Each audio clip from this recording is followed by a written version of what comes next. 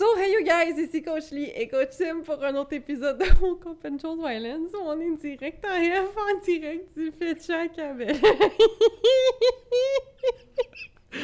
Ah, c'était excellent comme intro. Comme tout le long que tu parlais, tu commençais à me regarder comme moi. Je suis correct? Ça de l'allure comme intro? Oui, non? Parce que j'ai visualisé ma face en même temps.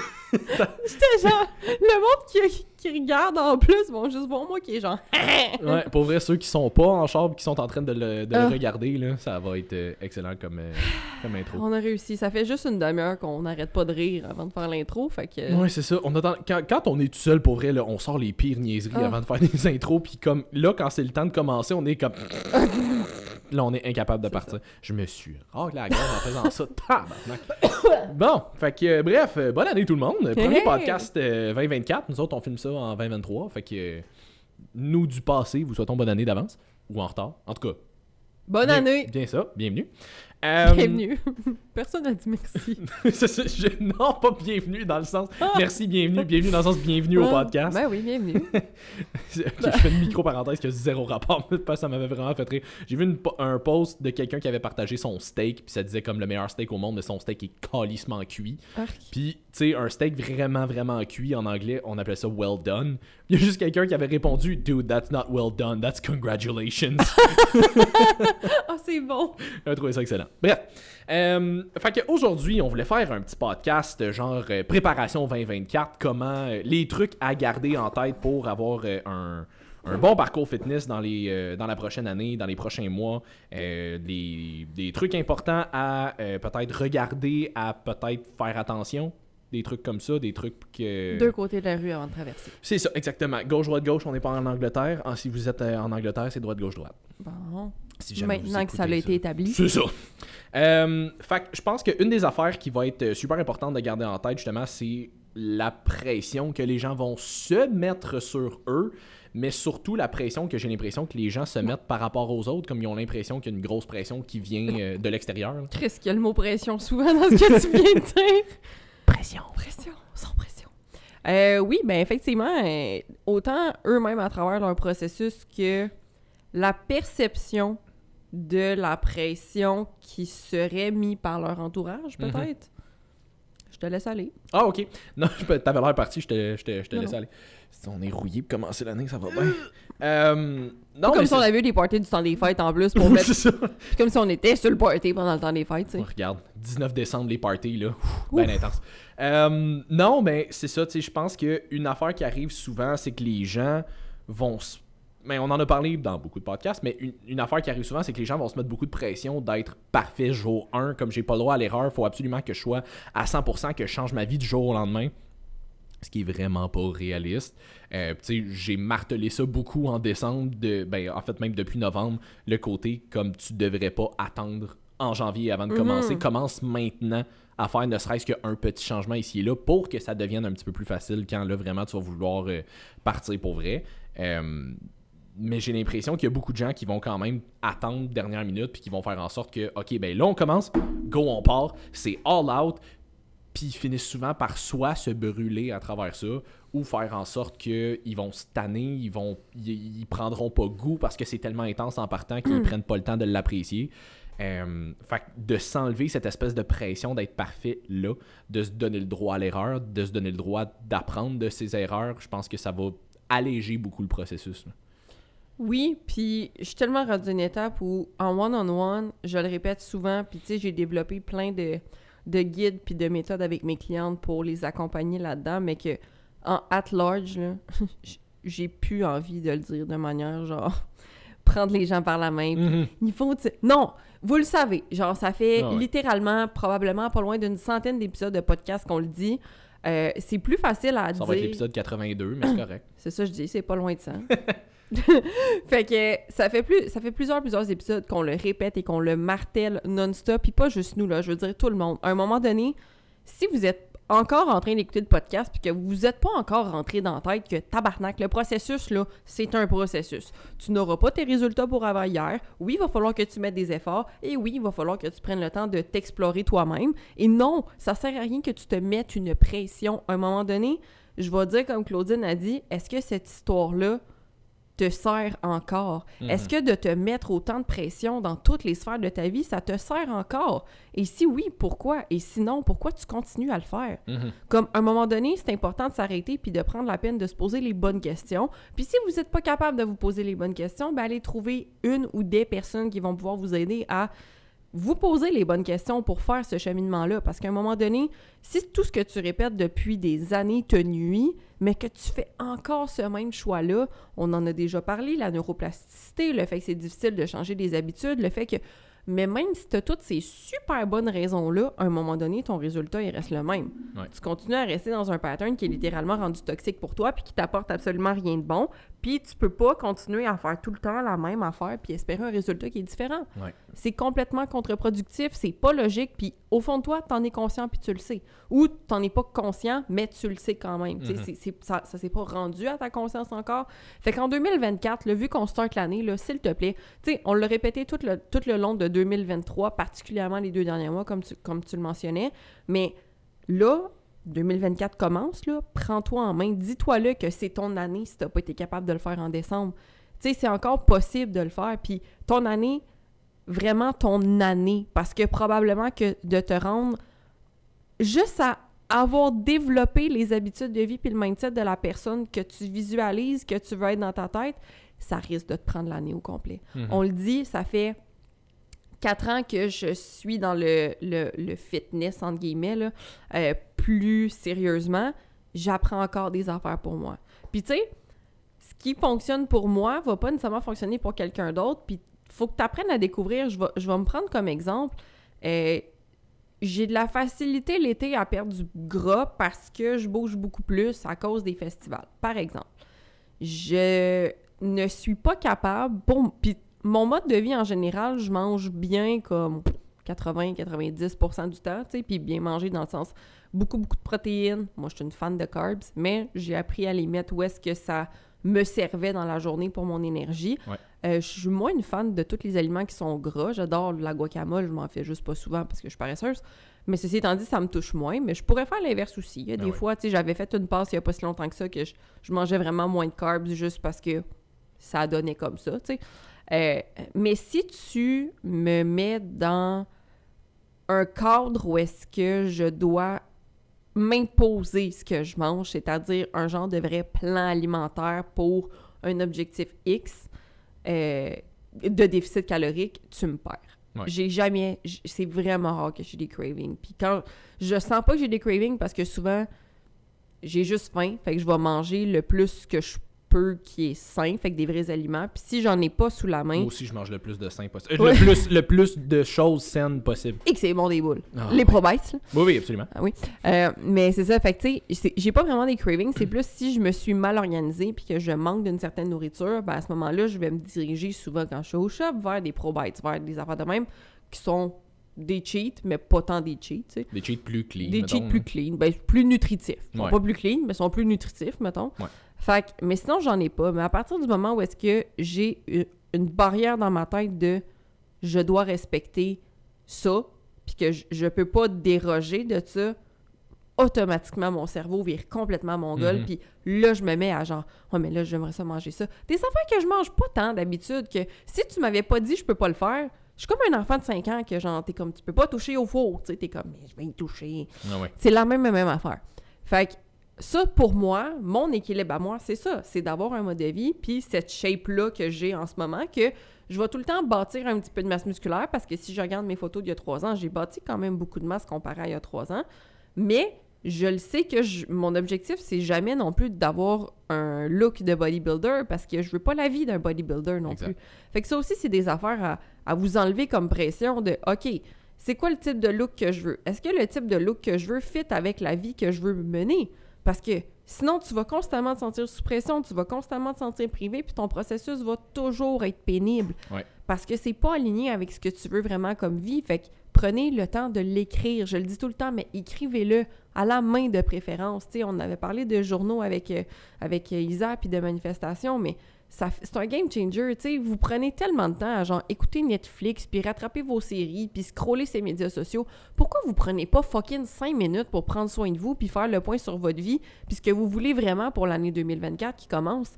tu sais, être bien, puis arrêter d'essayer de se chercher des, des hobbies, des défaites, puis des, des, des, des échappatoires comme l'alcool, comme faire le party, comme ci, comme ça, ça passe par prendre le temps que vous avez pour prendre des actions concrètes qui vont vous amener des résultats qui sont beaucoup plus constructifs sur votre vie. Fait que prendre le temps que vous auriez pu écouter une série Netflix pour faire la liste des choses que vous voulez en 2024 et que vous voulez pour vous. Fait que c'est quoi les valeurs que vous voulez avoir en 2024? C'est quoi? Ça peut être c'est quoi la shape, mais c'est quoi la personne? C'est quoi les habitudes? C'est quoi les émotions? C'est quoi l'entourage?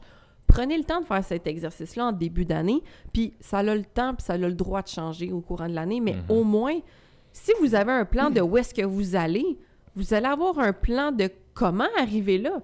Parce que si vous le savez même pas où est-ce que vous voulez aller, puis que c'est pas clair, puis que c'est, c'est comme flou, c'est comme, ben j'ai à peu près une image de, mais je sais pas trop, aucune de vos actions va compter. Vous allez vous, vous allez vous éparpiller à gauche, à droite dans des méthodes boboche ici et là, d'essayer encore de trouver la méthode, le ci, le ça, puis ça va finir que vous allez finir 2024 de la même manière que vous l'avez commencé, comme vous avez probablement fait à peu près les 2023 dernières années.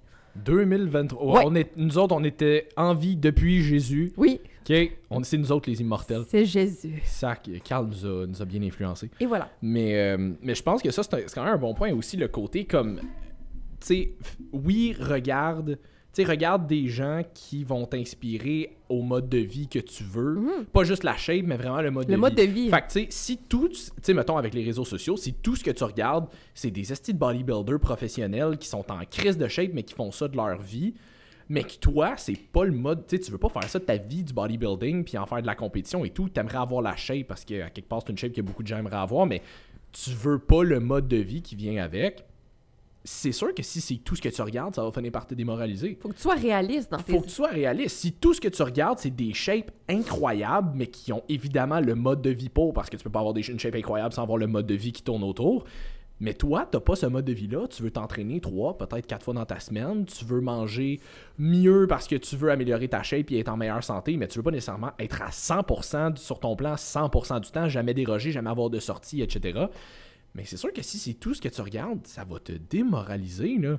Oui, puis tu sais, il y a une madame qui est venue au, shop aujourd'hui, puis ça, qui a parlé qu'elle essaie de se remettre en forme, que là, justement, elle était comme en, pré slash déjà ménopause, euh, puis là, elle trouvait ça plus dur avec les hormones, elle avait pris beaucoup de poids, euh, là, sa médecin voulait conseiller des hormones, puis elle, ça fonctionnait pas, tu sais, elle prenait encore plus de poids, blablabla. Puis, tu sais, on essayait de la conseiller, tu sais, comme tu as dit quelque chose? Fait tu sais, je montrais, mais des oméga 3, ça peut aider, c'est anti-inflammatoire, ça fait de même.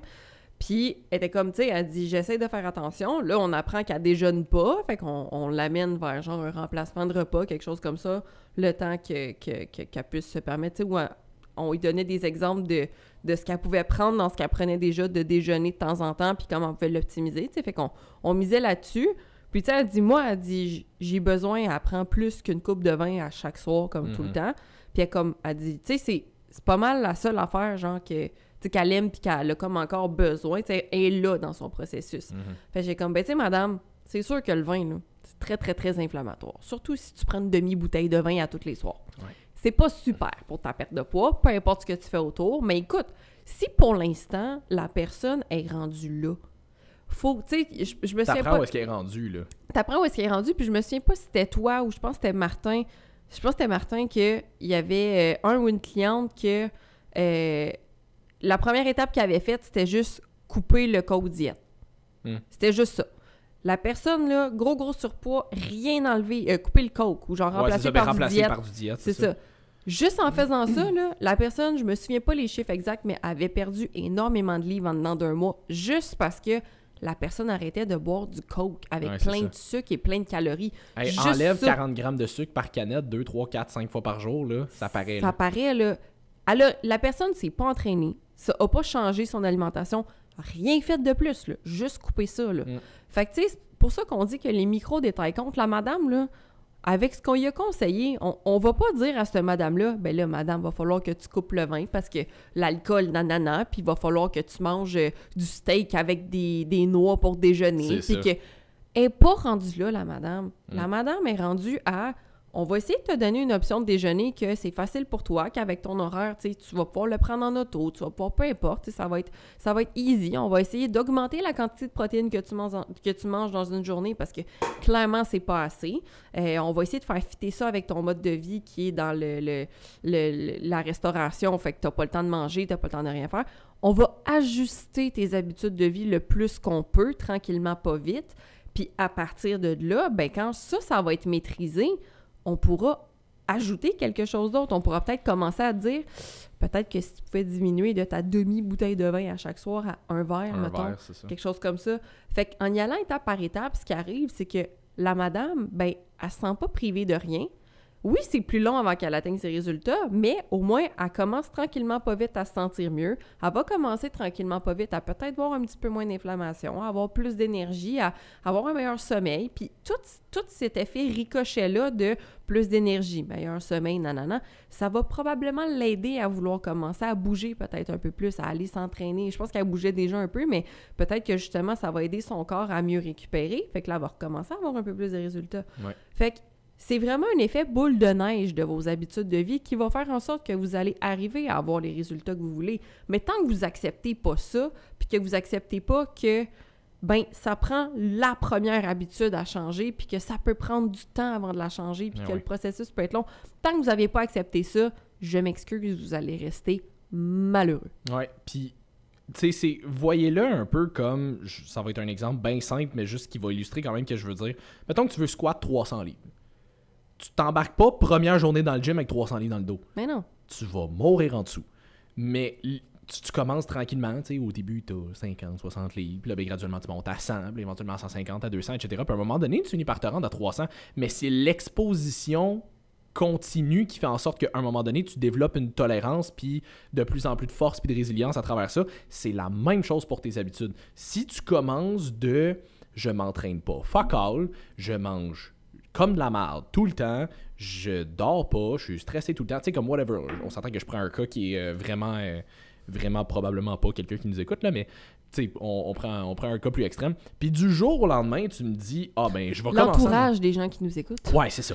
Euh, tu sais, mettons, là, du jour au lendemain, t'es comme, ben là, je vais commencer à m'entraîner. Cinq fois par semaine, je vais manger 100% clean, je vais manger genre 1500 calories tout le temps, jamais plus. Euh, je sortirai plus avec mes amis, je coupe l'alcool, tu sais, comme du jour au lendemain, là, ouais, tu vas peut-être être capable la première semaine, peut-être deux, mais comme, c'est sûr que tu vas finir par lâcher à un moment donné parce que c'est tellement drastique par rapport à ce que tu fais en ce moment que t'as pas développé la tolérance et l'habitude encore. Puis on le dit tout le temps, si tout ce que tu fais, c'est, entre guillemets, par obligation, puis t'as aucun plaisir à faire ce que tu fais, he- hell non que tu vas être capable de maintenir ça sur le long terme. Tu vas peut-être être capable dans les premières semaines, peut-être même moi, si jamais t'es comme vraiment têtu, mais Mm. à un moment donné, c'est sûr que éventuellement, si c'est quelque chose que tu n'aimes vraiment pas faire, comme it's, it's bound to be a loss. Comme à un moment donné, ça va finir par planter à quelque part. là. Oui, puis c'est vraiment un bon exemple que, que tu viens de donner. Puis, tu sais, exemple, la personne qui, qui serait capable de le faire, là, le 300 livres, là, probablement que sa forme va être dégueulasse. Elle a des très, très hauts risques de blessures, même si C'est pour une rep. Euh, juste pour. Après ça, il va falloir que. Après ça, ce qui risque d'arriver, c'est que. Ben, si tu t'es blessé, ben là, il va falloir que tu recover, que tu ailles voir des professionnels. que- Fait que, tu sais, toutes les conséquences de cette fois-là Mm. valent pas vraiment la peine. Fait que c'est le même principe quand tu essaies de, de- d'intégrer quelque chose de ultra restrictif que tu haïs dans ta vie, mais c'est sûr que ça te tentera pas. Puis non seulement ça, tu, tu vas lâcher, mais en plus de ça, à chaque fois que tu essayes quelque chose comme ça puis que tu le lâches, tu renforces le, le- la croyance de ton cerveau que T'es le pas capable processus d'y arriver, puis Ben, c'est de la merde. Que c'est de la merde. C'est ça que le processus de ton cerveau qui fait Ah ben, si je veux perdre du poids, automatiquement, ben ça va être de la merde. Mm. Fait que quand tu vas commencer à essayer un processus qui est beaucoup plus sain, tu vas déjà partir avec comme tro- trois pas de recul parce que tu vas être comme Ah ouais, mais non, parce que je me sens déjà privé, je me sens déjà. Parce que ton cerveau, il a associé processus de perte de poids à ben c'est restrictif, euh, je me sens pas bien, euh, j'ai pas d'énergie, euh, j'angoisse parce que tu sais j'aime pas ma vie en ce moment. Fait que combien de clients qu'on a eu en début de suivi qu'on leur remettait un plan alimentaire puis ils étaient comme j'ai le droit de Ouais, manger ça? Hell the fuck yes, t'as Oui. le droit de manger ça. À un moment donné, comme t'es pas en prep de compétition en ce moment. Hey, c'est j'en pas à ai, toi là. que ça s'adresse. moi ce qui me ce qui me fascine c'est la façon dont certaines personnes posent les questions. Mhm. Euh, de la négation en partant. Mm. Du fromage, c'est non, hein? Ouais, c'est ça. Pourquoi? Ben là, pourquoi? Explique-moi pourquoi t'aurais pas le droit de manger du fromage. Mhm. Je te dis pas de te taper une brique de brie à chaque soir, C'est ça. mais dis-moi dans, dans ce que t'as comme macro, pourquoi est-ce qu'on pourrait pas te mettre du fromage? À moins que vraiment tu saches pertinemment que tu le digères pas. Non, non, mais c'est ça, mais je parle, mettons, on peut... C'est justement, encore là, tu vois, c'est de trouver...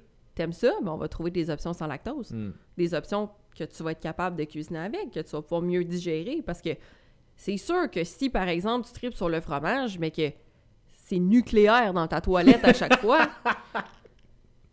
je veux bien là, te donner des enzymes de lactose, là, mais comme à un Ah moment ouais, donné, mais- ça veut dire que ton corps, c'est pas la meilleure option. Fait Il y a certaines choses qu'il faut que tu acceptes quand même. c'est ça, il y a des choses qu'il va falloir que tu acceptes de couper pour toi, mais qu'on peut remplacer par, ça sera peut-être pas ça, ça, ton fromage que t'aimes, mais t'aimes pas vraiment, je pense, la nucléaire qui vient après. Je suis pas mal sûre que ces effets-là sont moyens. Fait tu sais, il y a, il y a toujours moyen de trouver une option santé à tout. Tu sais, je le dis tout le temps, je comprends même pas que le monde mange encore de la crème glacée, genre qu'ils en achètent chez eux, parce que t'as les Ninja Creamy. Comme, Ouais, c'est pas pareil, là, mais c'est quand même un bon substitut. c'est un excellent substitut, c'est délicieux. Ouais. Comme, si tu veux trouver une option santé, à ce que, puis je te dis pas de jamais plus manger de la crème glacée parce qu'il y a un creamy, mais dans le sens, si t'as tout le temps des cravings de crème glacée, on va dire que tu binges, pour toi, c'est un problème. Peut-être qu'un lev- investir dans un creamy, ça vaudrait la peine pour toi. tu ça vaudrait peut-être la peine, tu sais, parce que en même temps, ça augmenterait ta quantité de protéines, c'est super nutritif, t'as juste des bonnes affaires là-dedans, tu sais. Fait que c'est tout le temps de trouver c'est quoi l'option santé à ce que t'aimes aussi. Puis maintenant, je m'excuse, mais vous n'en avez plus d'excuses. Tout est faisable et les recettes fitness sont tellement simples et délicieuses. Les fit sauce.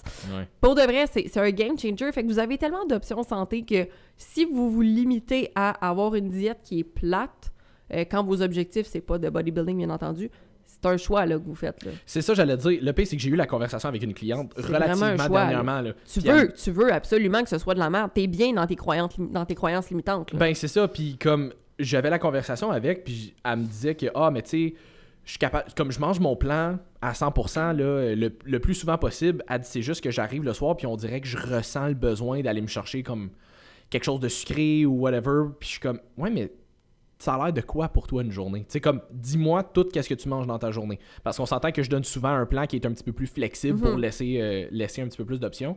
Fait que je suis comme, ça a l'air de quoi pour toi une journée? Puis là, elle me dit tout ce qu'elle mange, puis je suis comme, mais c'est plate en tabarnak. Qu'est-ce que tu manges aussi dans ta journée? C'est sûr que tu as envie tu- que tu craves quelque chose en fin de journée. C'est pas tant que t'as plus faim euh, ou que, que t'as vraiment faim ou c'est pas tant que tu sais il te manque de quoi dans ton plan c'est juste tellement plate que ton, ta tête a crave quelque chose de le fun C'est ça. That's it. Je suis comme, prends un peu plus de temps pour mettre de l'énergie puis de l'amour dans ta bouffe pour faire en sorte que tu aimes ce que tu manges puis que ça soit beaucoup plus facile à tenir. Quand t'aimes vraiment ce que tu manges, là, tu ressens pas tant le besoin de, de déroger après. T'as l'impression que t'as du fun à tous les jours.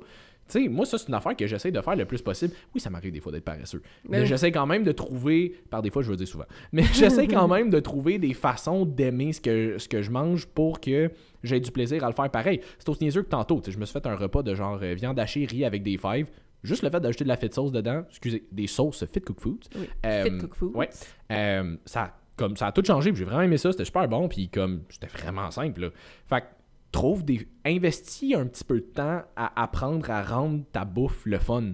Juste ça, puis c'est pas parce que tu rends ta bouffe le fun que automatiquement tu vas tout scraper tes macros, puis que là, automatiquement, comme parce que c'est le fun, ça fonctionnera pas. Mais au contraire, parce que les gens, sinon, ils sont pas capables de justement s'en tenir au plan, puis ils vont aller binger dans d'autres affaires où ils sont comme, ben là, moi, je veux sortir au resto, nanana, parce qu'ils trouvent que leur vie est plate. Hey, c'est ça. Si, si pas vrai, là, si le fait de, le simple fait d'ajouter, mettons, 50 calories de sauce dans ton repas fait en sorte que tu l'aimes crissement plus puis que t'as pas tendance à binge après dans d'autres choses parce que tu recherches le plaisir, fais-moi confiance, ces 50 calories-là en valent la peine en tabarnak. Là.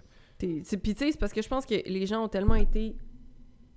Ils se sont tellement fait taper la tête avec l'hostie de déficit calorique tout le temps. Là.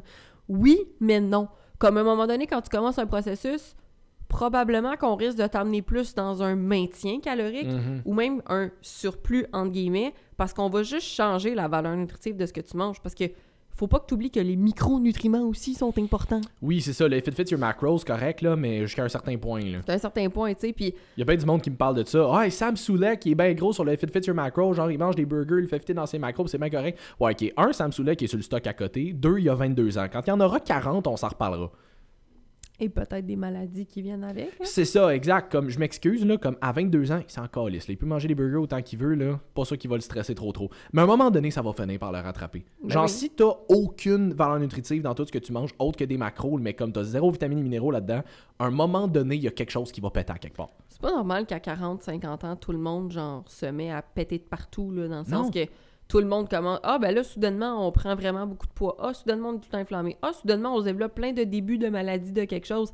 Ça fait longtemps que ton corps a commencé à développer ces pathways-là, là, Ben quand ça commence à sortir. Là. Puis je m'excuse, pas parce que tu vieillis que. Tu sais, je veux dire, oui, naturellement, à un moment donné, en vieillissant, le corps, entre guillemets, se détériore. Mais je veux dire, si tu l'entretiens, hey, t'es capable de toffer puis de performer encore longtemps, là. Ben, Je prends coach- juste ton client. hein. Mais c'est pas mon client, lui, Ben, mais oui, effectivement. Là, tu sais, je veux dire, 75 ans, record euh, de powerlifting. J'ai pas demandé comment sa compétition avait été d'ailleurs, faut que j'y envoie un message. Euh, mais c'est ça, hey, je coach en ce moment un des meilleurs amis à ma blonde, il a 62 ans. Ça fait 8 ans qu'il s'entraîne, il est en calice de chien. La blonde à Simon a 70. Oui, c'est ça. non, lui, il a 62 ans. Elle, elle dit que c'est son deuxième papa. Mais euh, hey, à 62 ans, il a Elle fait a des 12 compétitions. ans. Ouais, tabarnak. Je vous confirme qu'elle est majeure. Euh, mais Depuis hier. ça fait 4 ans qu'on est ensemble. J'allais la reconduire à l'école. OK. Euh, fait que, euh, fait que c'est ça. Hey, lui, il a fait des compétitions de CrossFit. Il est en crissement meilleure shape qu'il l'est- qu'il l'était à genre début cinquantaine. Aujourd'hui, à 62. Là. Je veux dire, il n'y a pas, il y a pas d'âge pour être en, en shape et en santé. faut juste que tu fasses les démarches nécessaires. non, mais je vous rappelle quand même que c'est beaucoup plus difficile en vieillissant de se mettre en shape. Oui, mais c'est c'est pas tant l'âge en soi qui fait que c'est difficile, c'est l'accumulation de toutes les dernières années. C'est ça. Tu sais, je veux dire, si les, toutes les dernières années, tu t'étais maintenu en bonne santé Ah, ben relativement, puis tu étais relativement actif, aujourd'hui, tu décides, OK, je veux pas juste, mettons, être actif à faire du sport un petit peu, puis comme à manger relativement bien. Mettons, aujourd'hui, je veux prendre la masse à genre 55 ans. Hey, tu sais quoi? T'es capable. Oui, non, mais moi, je te parle vraiment des gens qui ont eu des très mauvaises habitudes de vie toute leur vie, Oui, oui, qui sont en gros surpoids, puis là, soudainement, pas juste parce que, ben, de un, ton métabolisme, là, je veux dire, il, il est pas, il est pas ce qu'il était. De deux, ben, s'il était bon, tu y as fait quand même pas pire de dommages à travers les années. De trois, la neuroplasticité, le fait que, comme on l'avait parlé avec Isabelle, mais ça fait des années, des années, des années que tu prends les mêmes habitudes, que ton cerveau prend les mêmes chemins, que tu as les mêmes, mêmes, mêmes affaires tout le temps à chaque jour, c'est difficile à défaire ça aussi. Ouais. Fait que puis toutes les pathways que tu as créés à ton corps de d'adaptation métabolique négative, ben ça aussi, ça se défait pas en criant ciseaux, là, puis pas être plate, là, mais jouer avec des hormones, plus tu vieillis, plus c'est le fun. Ouais, c'est ça. Tu sais, j'en avais parlé dans un autre podcast aussi à un moment donné, comme quand tu, quand tu marches dans ton tourbillon dans la piscine, là, je m'excuse, plus ton tourbillon, tu le fais aller longtemps, plus il est tough à arrêter quand tu vas J'ai virer bord. essayé ça, toi, de courir euh, à sens contraire d'une tornade. Ouais, c'est ça. Bonne chance. Fait que, Allez pas courir dans une tornade. Non, c'est vraiment. This, this was not a recommendation. Euh, mais c'est ça, tu Je veux juste voir la vidéo de la. Je veux juste ta vidéo-là. Ok, en tout cas, euh, fait que c'est ça. Fait que, tu sais, plus ton tourbillon il, il est fort puis il va longtemps, plus c'est difficile à revirer de bord. Fait que plus vite tu décides de le revirer de bord, moins t'as de chemin à défaire avant de, avant de repartir. Hey, je m'excuse, là, justement, on en avait parlé avec Matt Bouchard aussi à un moment donné. Tu sais, je me sais plus qui qui avait dit ça, je pense que c'était Paul Carter, qui disait, tu sais, si t'es. Si t'as marché 10 km en forêt, puis que tu t'es perdu, faut que tu remarches 10 km pour sortir de la forêt. Puis Matt disait, puis peut-être 15 parce que t'as pas noté ton chemin, puis tu sais pas dans quelle direction que tu t'en vas. Fait que, tu sais, plus tu t'en vas creux dans la forêt, là, hey, plus faut que tu, faut, plus faut que tu, tu, tu bûches puis que tu marches pour, euh, pour sortir après, là, que tu bûches dans la forêt. Littéralement. Euh, mais c'est ça, fait commencez maintenant, puis encore une fois, commencez pas à tout changer du jour au lendemain. Hey, nous autres, là, on n'a pas comment, on n'a pas tout appris ce qu'on sait aujourd'hui, puis toute l'expérience, puis toutes les du jour au lendemain. Là, ça fait des années qu'on est là-dedans, puis on apprend encore. C'est ça. Faut que tu acceptes que c'est un processus qui va durer toute ta vie, puis tu vas tout le temps vouloir t'améliorer. Puis si tu attends tout le temps juste après le résultat, on le répète encore, mais tu vas toujours être malheureux parce que tu vas atteindre ton résultat, tu vas en vouloir un autre. Tout le temps, tout le temps, tout, le temps. temps. La chose que. Le conseil que je pourrais vous donner pour commencer l'année 2024 et faire tout ce qu'on vient de vous dire, c'est vraiment de vous asseoir, là, puis le plus possible dans votre processus à chaque jour, prendre des moments de pleine conscience. Mm. Fait que prendre des moments pour vous asseoir puis faire OK.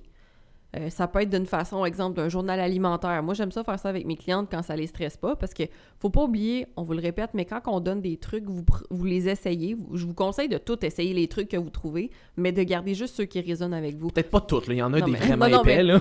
non, mais que, qui- ceux qui résonnent de base avec vous, Ouais, mais que même si vous les essayez, ça se peut que ça colle pas à vous. Fait que laissez-les aller, c'est bien, bien correct.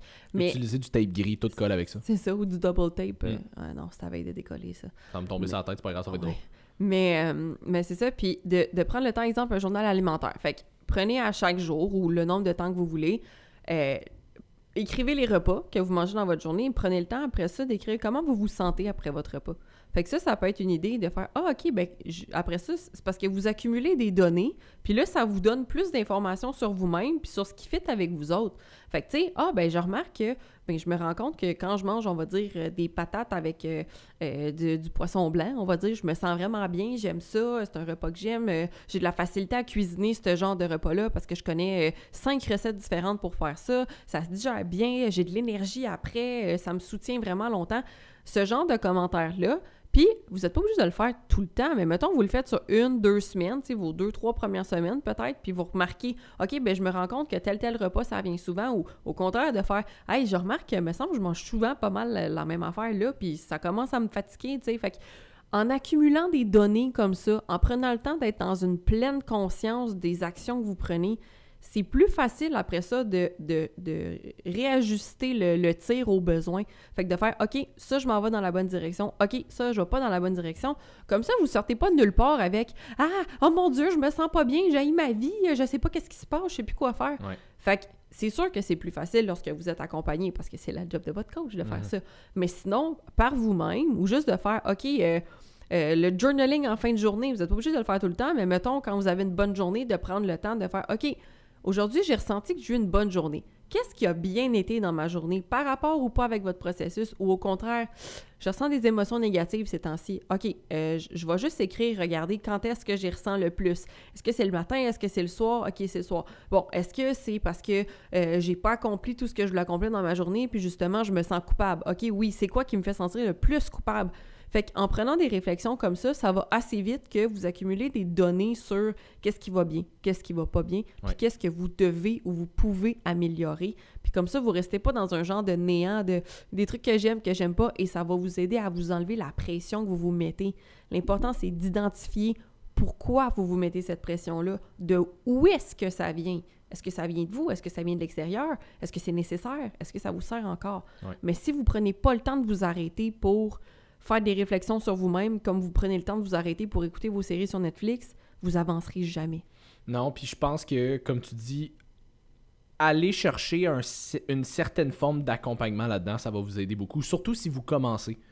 Parce que c'est sûr que si vous commencez, vous connaissez pas grand-chose là-dedans. Ce que vous connaissez, c'est ce que vous avez entendu et vu un peu partout sur les réseaux sociaux, puis God knows qu'il y a de la, ma- de la désinformation qui circule. Fait que vous connaissez probablement moins même que vous pensez, juste à cause qu'il y a bien des affaires que vous avez entendues qui est juste complètement erronées. Ça peut Fait- être overwhelming de trop De en savoir. Exactement. Tu sais, quand, tu- quand tu connais pas vraiment ça, ça a l'air justement overwhelming parce qu'il y a tellement d'affaires à voir, autant côté entraînement que nutrition, qu'après ça, tu vas un petit peu plus deep. Gestion de stress, digestion, sommeil, etc.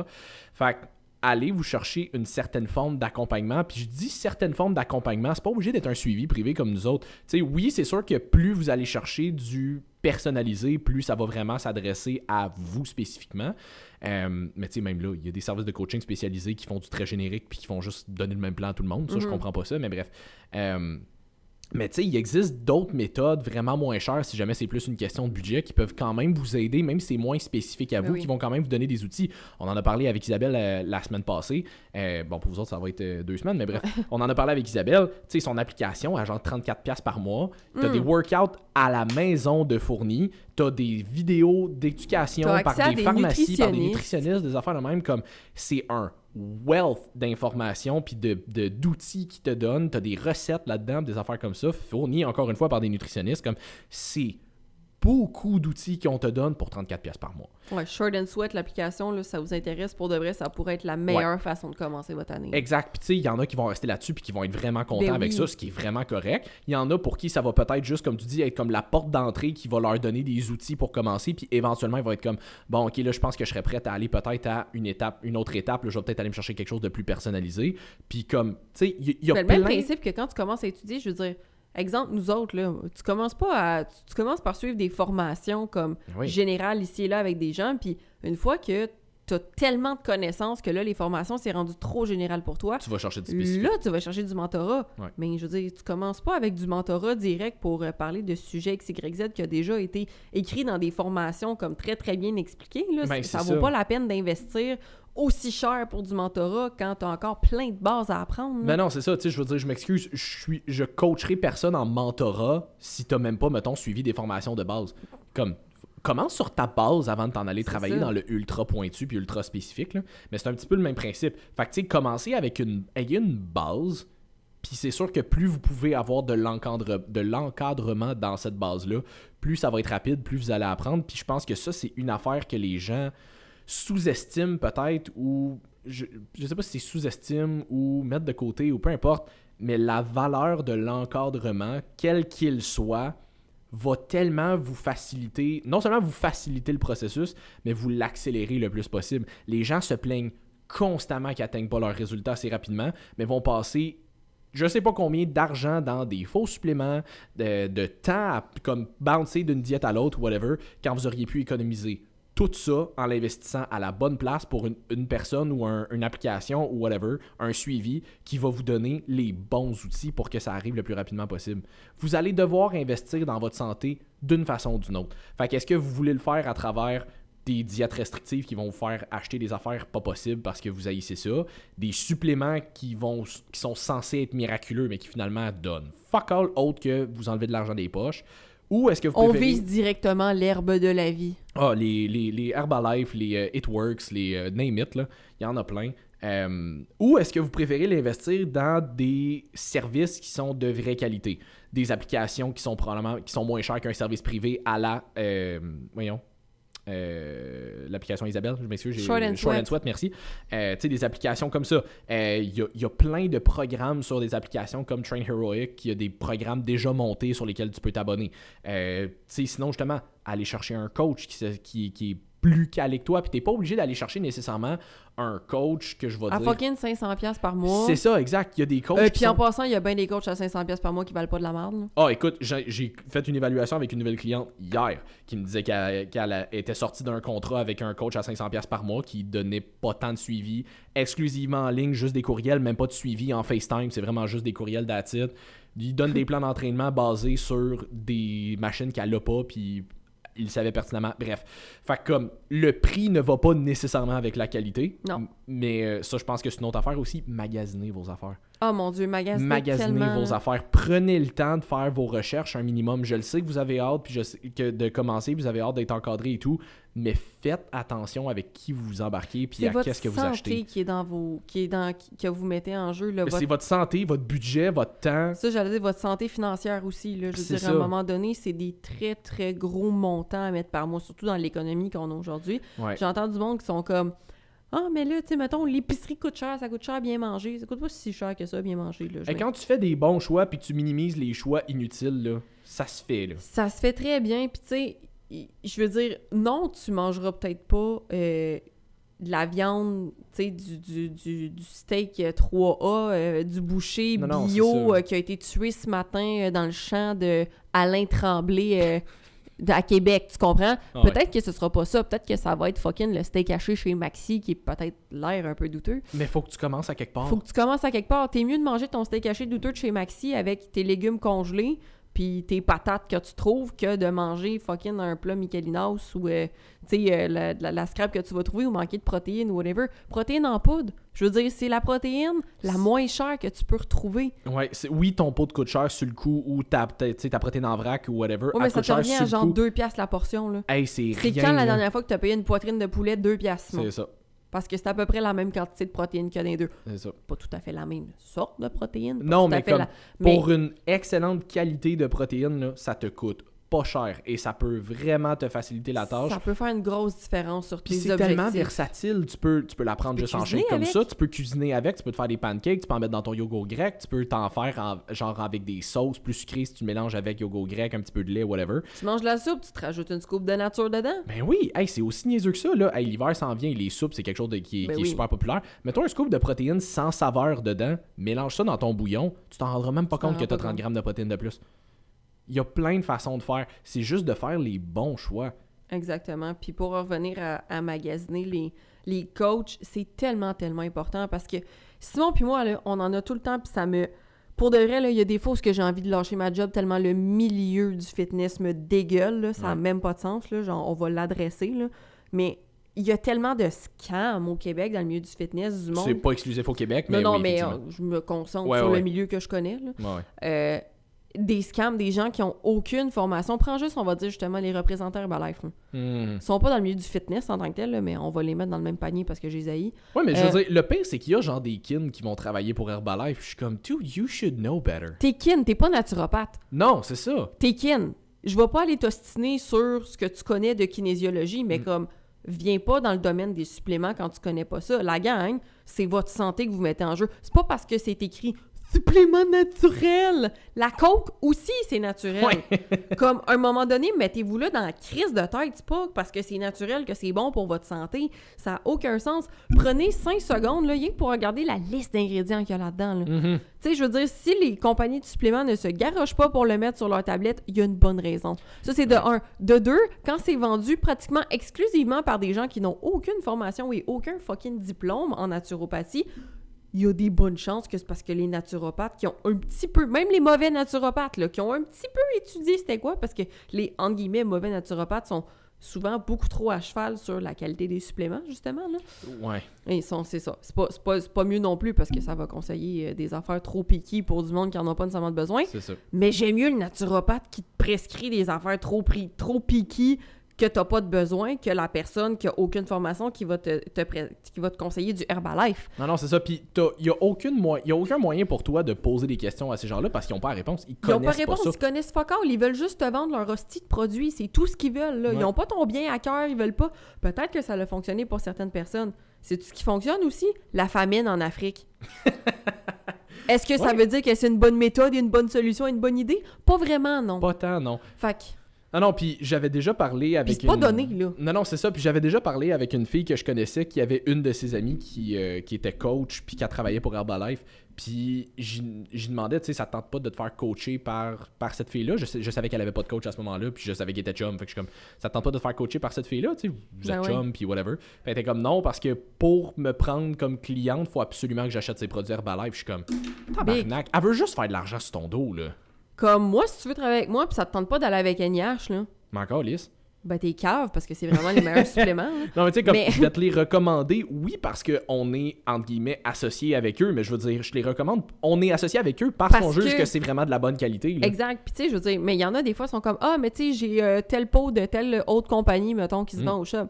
Mais là, finis-les ton Oui. là. Je veux dire, ou continue. Je veux dire, c'est plus facile pour toi. Je vais pas te le mettre dans les dents, là, à un moment donné. C'est bien correct, là. Il y en a d'autres, des vitamines D puis des oméga 3, là. Ben ça va, c'est ça. là. Je vous recommande quand même très fortement. euh, Oui, mais tu sais, comme Mais- je- on en a des fois du monde, tu mettons, je sais pas, je m'en je, je passe ma commande au shop santé, tant qu'à ça, je prends la commande maison, tant qu'à être là, hey, prends-la, là, Ben, prends-la, c'est ça. Je veux dire, Comme je m'en fous, là, tu vas chercher quand même de la bonne qualité avec Exactement, ça. je veux pas dire- fucking Jameson. là. Ben, c'est ça, tu sais. Oui, parce que là, on va avoir un problème là aussi, là. mais, mais je veux dire, sinon, tu sais, prends n'importe quoi au shop santé, si ça t'arrange, c'est plus proche de chez toi, c'est sur ta route, oui. c'est bien correct, il a aucun problème. Mais pour en revenir à ça, c'est que. Puis le pire, c'est que je les haïssais même pas tant que ça avant que je commence, avant que j'aille une de mes clientes qui avait ces produits-là, qui m'envoie les ingrédients Ça a en aucun bon sens. Aucun bon sens. J'ai fait, mais voyons donc, parce que j'avais pas lu, j'étais comme, tu sais, je le sais que c'est pas de qualité, mais tu sais, je comprenais pas le hype autour du hate. Tabarnak, j'embarque sur le hype, ça a pas de sens. Ah oui. Le premier ingrédient de leur probiotique, c'est de la maltodextrine, Simon.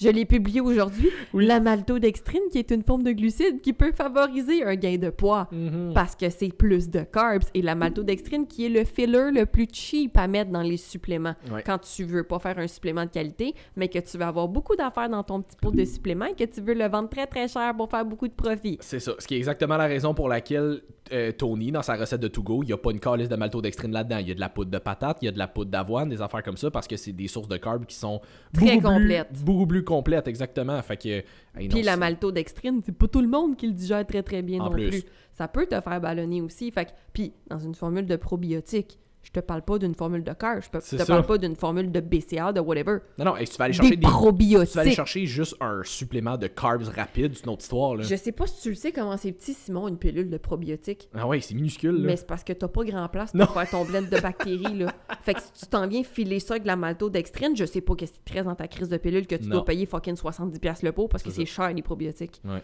Fait que j'espère que j'ai fait mon point. Lâchez fucking Herbalife. Et de grâce, s'il y a des représentants Herbalife qui sont pas contents, ben venez nous ostiner en DM. C'est ça. Bon, en fait, Simon, parce que moi, je vais vous bloquer, là. Oui, c'est ça. Puis je veux dire, ultimement, ils seront probablement pas capables parce qu'ils savent pas plus de quoi qu'ils Tu parlent. le sais pas qu'est-ce que tu mets dans ton produit, mais t'as pas honte de vendre quelque chose de même. Je comprends même pas, genre, je comprends que tout le monde doit gagner son Non, argent. parce qu'ils veulent faire de l'argent. Puis le pire, c'est j'en avais parlé avec une Ça- fille avec qui je travaillais avant parce qu'il y a une de ses amies à elle qui travaillait pour une genre de compagnie de même. C'était pas Herbalife, c'était peut-être Work, je me souviens pas. Bref, un, un M&M quelconque. Puis euh, son amie avait fait une annonce sur Facebook comme Ah, euh, je cherche 5 personnes pour embarquer dans mon programme de whatever, euh, genre euh, quelque chose brûleur de graisse, euh, whatever. Un genre de café brûleur de graisse, me semble. Quelque chose de même. Puis elle, elle l'avait partagé parce qu'elle disait quelque chose comme Ah, mais tu sais, je pense qu'elle avait une genre de ristourne sur si c'était des références qu'elle y envoyait ou un affaire de même. Puis j'avais juste envoyé un message comme tout, t'as déjà travaillé dans des gyms, qu'est-ce que tu fais à partager des affaires de même? Puis elle était comme, bah tu je m'en un peu, là, comme je veux juste avoir la ristourne puis euh, avoir le. Je suis comme, tu devrais avoir un minimum de valeur, là. Comme je comprends qu'à un moment donné, tu veux le cash, mais comme, ça. Tes valeurs là-dedans, ils disent quoi? Je suis comme, la, cette fille-là m'avait obstiné long comme le bras que la créatine, c'était pas si bon que ça parce qu'elle a fait un cours à l'université où il avait montré une étude où il y avait eu des side effects, c'est c'est la créatine. Je suis comme, mais ça, par exemple, ça, c'est correct de le partager parce que tu vas avoir de l'argent. Tabarnak. C'est ça. Fait que moi, ce qui me gosse là-dedans, de ces personnes-là, c'est vraiment le manque de valeurs fondamentales. En tout cas, le- le- les valeurs qui qui me, qui me rejoignent pas. Genre, je suis pas capable. Ah ouais. je, je serai jamais capable. Puis tout le monde doit gagner de l'argent d'une certaine façon, mais en jouant avec la santé du monde, vraiment. Non. Genre vraiment, comme, comme dans, puis dans n'importe quel autre métier, je veux dire, des chirurgiens qui vont botcher des affaires puis qui vont euh, vendre, qui vont euh, euh, demander des prix faramineux pour leur chirurgie, mais que finalement sont, sont vraiment pas bons dans ce qu'ils font. Ou, tu sais, peu importe, mettez-le, appliquez-le à ce que vous voulez, puis on va revenir au monde du coaching. T'as pas de formation, tu joues avec la santé du monde, puis tu charges 500$ pièces par mois? Ouais. Is you fucking stupid? Oui. Comme, je comprends même pas comment tu fais pour dormir le soir. Puis il y en a tellement, Simon, là, tu le sais, là, je veux dire, Ah c'est oui. du monde qu'on ramasse dans nos appels Ah parce oui. qu'à un moment donné, ils écoutent le podcast, ils sont comme Ah, c'est pas normal. C'est peut-être pas normal, c'est ça. T'es comme, ben non, ben non, c'est pas normal. Je veux dire que Joe Blow, 22 ans, comme tu avais fait le mime qui disent à Nancy, euh, 42 ans avec trois enfants. euh, Non, ouais, c'est ça. mais faut juste que tu. Après ça, tu développes non seulement des troubles alimentaires à ce monde-là, mais des troubles de perception aussi, des troubles de Mhm. perception de l'effort, parce que tu les rencontres pas où est-ce qu'ils sont, tu fais juste leur infliger ton mode de bodybuilding de Jim Bro de 22 ans dans la gorge. Ouais. Euh, genre, ça me. ça- je sais pas, ça paraît que je prends pas de théanine depuis quelques jours. Moi, j'adore ça pour le podcast, par exemple. Oh my fucking god, mais genre, c'est des affaires que, comme je le dis, à, à- à- à caméra fermée, je veux dire, on va avoir ces discussions-là tout le temps, mais Ouais. à un moment donné, la gang, là, comme ces gens-là existent parce que vous leur permettez d'exister, Vous continuez de payer. vous continuez de les payer, vous continuez d'embarquer avec eux parce que on n'arrête pas de vous le dire depuis 82 épisodes. Fitfluencer, c'est pas parce que tu es en shape que ça veut dire que tu as les compétences pour entraîner des gens. Non. C'est tellement complexe. Puis, écoute, même nous, à notre niveau, Sim puis moi, je pense qu'on se pose encore des questions des fois sur... Ben, en tout cas, moi, là, je vais parler pour moi, mais je pense que toi aussi, des fois, je coach des gens, puis je demande beaucoup de feedback, puis je m'assure que tout est beau parce que des fois, je suis comme, est-ce que je suis la bonne personne pour cette Mhm. personne-là? Est-ce que ça fit encore? Est-ce que tu es, est-ce que tu es satisfaite? Est-ce que tu aimes où est-ce que tu es en ce moment? Est-ce que c'est correct? Écoute, moi, si je réponds pas pendant 24 heures à quelqu'un, là, je, je me tape ça, ça a tout pris avant que je dise que je prenais mes fins de semaine off. Ouais. Là, parce que pour moi, c'est tellement important d'accompagner ces personnes-là dans leur processus, puis d'être là pour elles, puis de donner un bon service, puis de... Tu sais, comme pour moi, c'est important parce que je le sais à quel point c'est difficile, surtout que je travaille avec du monde souvent qui sont, sont vraiment débutantes ou comme qui, tu sais, qui se découvrent une passion pour ça, puis beaucoup avec le stress, puis des personnes anxieuses, je le sais ce que c'est. C'est ça me tient tellement à cœur que leur processus soit agréable, qu'il se passe bien, que ce soit facile. Puis je ramasse des gens qui avaient pas de réponse pendant des semaines. euh, que quand ils se font répondre, c'est des phrases déjà préfaites de genre ben si tu fais pas ça, c'est parce que tu le veux pas vraiment. Puis Ouais. disait genre des affaires qui font pas de sens pour payer des prix qui ont pas de sens non plus pour se faire répondre ça. Puis je trouve ça tellement triste parce qu'après ça on se demande pourquoi les gens ils aiment pas ça leur processus de transformation. Ils sont traumatisés Calis à cause de vous autres. Ah non, c'est ça. Puis je veux dire, tu sais, rewinder les deux dernières minutes de ce que Jess vient de dire. Puis, tu sais, ça, c'est une coach qui, oui, qui aime ce qu'il fait, mais qui tient non seulement aux résultats de sa clientèle, mais à leur santé et leur bien-être. Trouvez un coach. Si vous magasinez un coach, trouvez un coach qui a ça comme mentalité. Parce qu'il y a beaucoup trop de coachs et ou d'entreprises où t'es un fucking numéro. Ouais. T'es là pour leur donner des photos de transfo, puis that's, That's it. it. Ils s'en calissent. Puis souvent, c'est les compagnies et ou les coachs qui vont avoir des gros contrats puis qui Ouais. vont charger le plein prix. Ça revient donné, ça revient malheureusement souvent. Puis, tu sais, la, la, la cliente que j'ai, à qui j'ai fait son évaluation hier, c'était ça. C'était une, Ben oui. compagnie que, c'était une compagnie que beaucoup de monde connaissent, qui a quand même un nom. Puis, euh, ouais, c'était, un contrat de 6 mois à, 600 pi- à 500$ piastres par mois. Puis, il a fallu qu'elle paye des frais pour s'en aller de ça parce que ça fitait vraiment pas avec elle. Ouais, ben simple. Puis moi, ça, j'en ai une de même aussi. Puis comme elle a pas les moyens de payer les frais en ce moment, puis comme après ça, elle dit, elle dit comme dès que j'ai fini de payer mon contrat, je vais venir avec toi. Mais comme en attendant, euh, ça. ça fonctionne comme. Même là, j'étais comme, j'ai des amis qui sont avocats. Comme envoie-moi ton contrat, je vais Ouais, trouver une clause, je vais trouver quelque chose comme ça. Pas.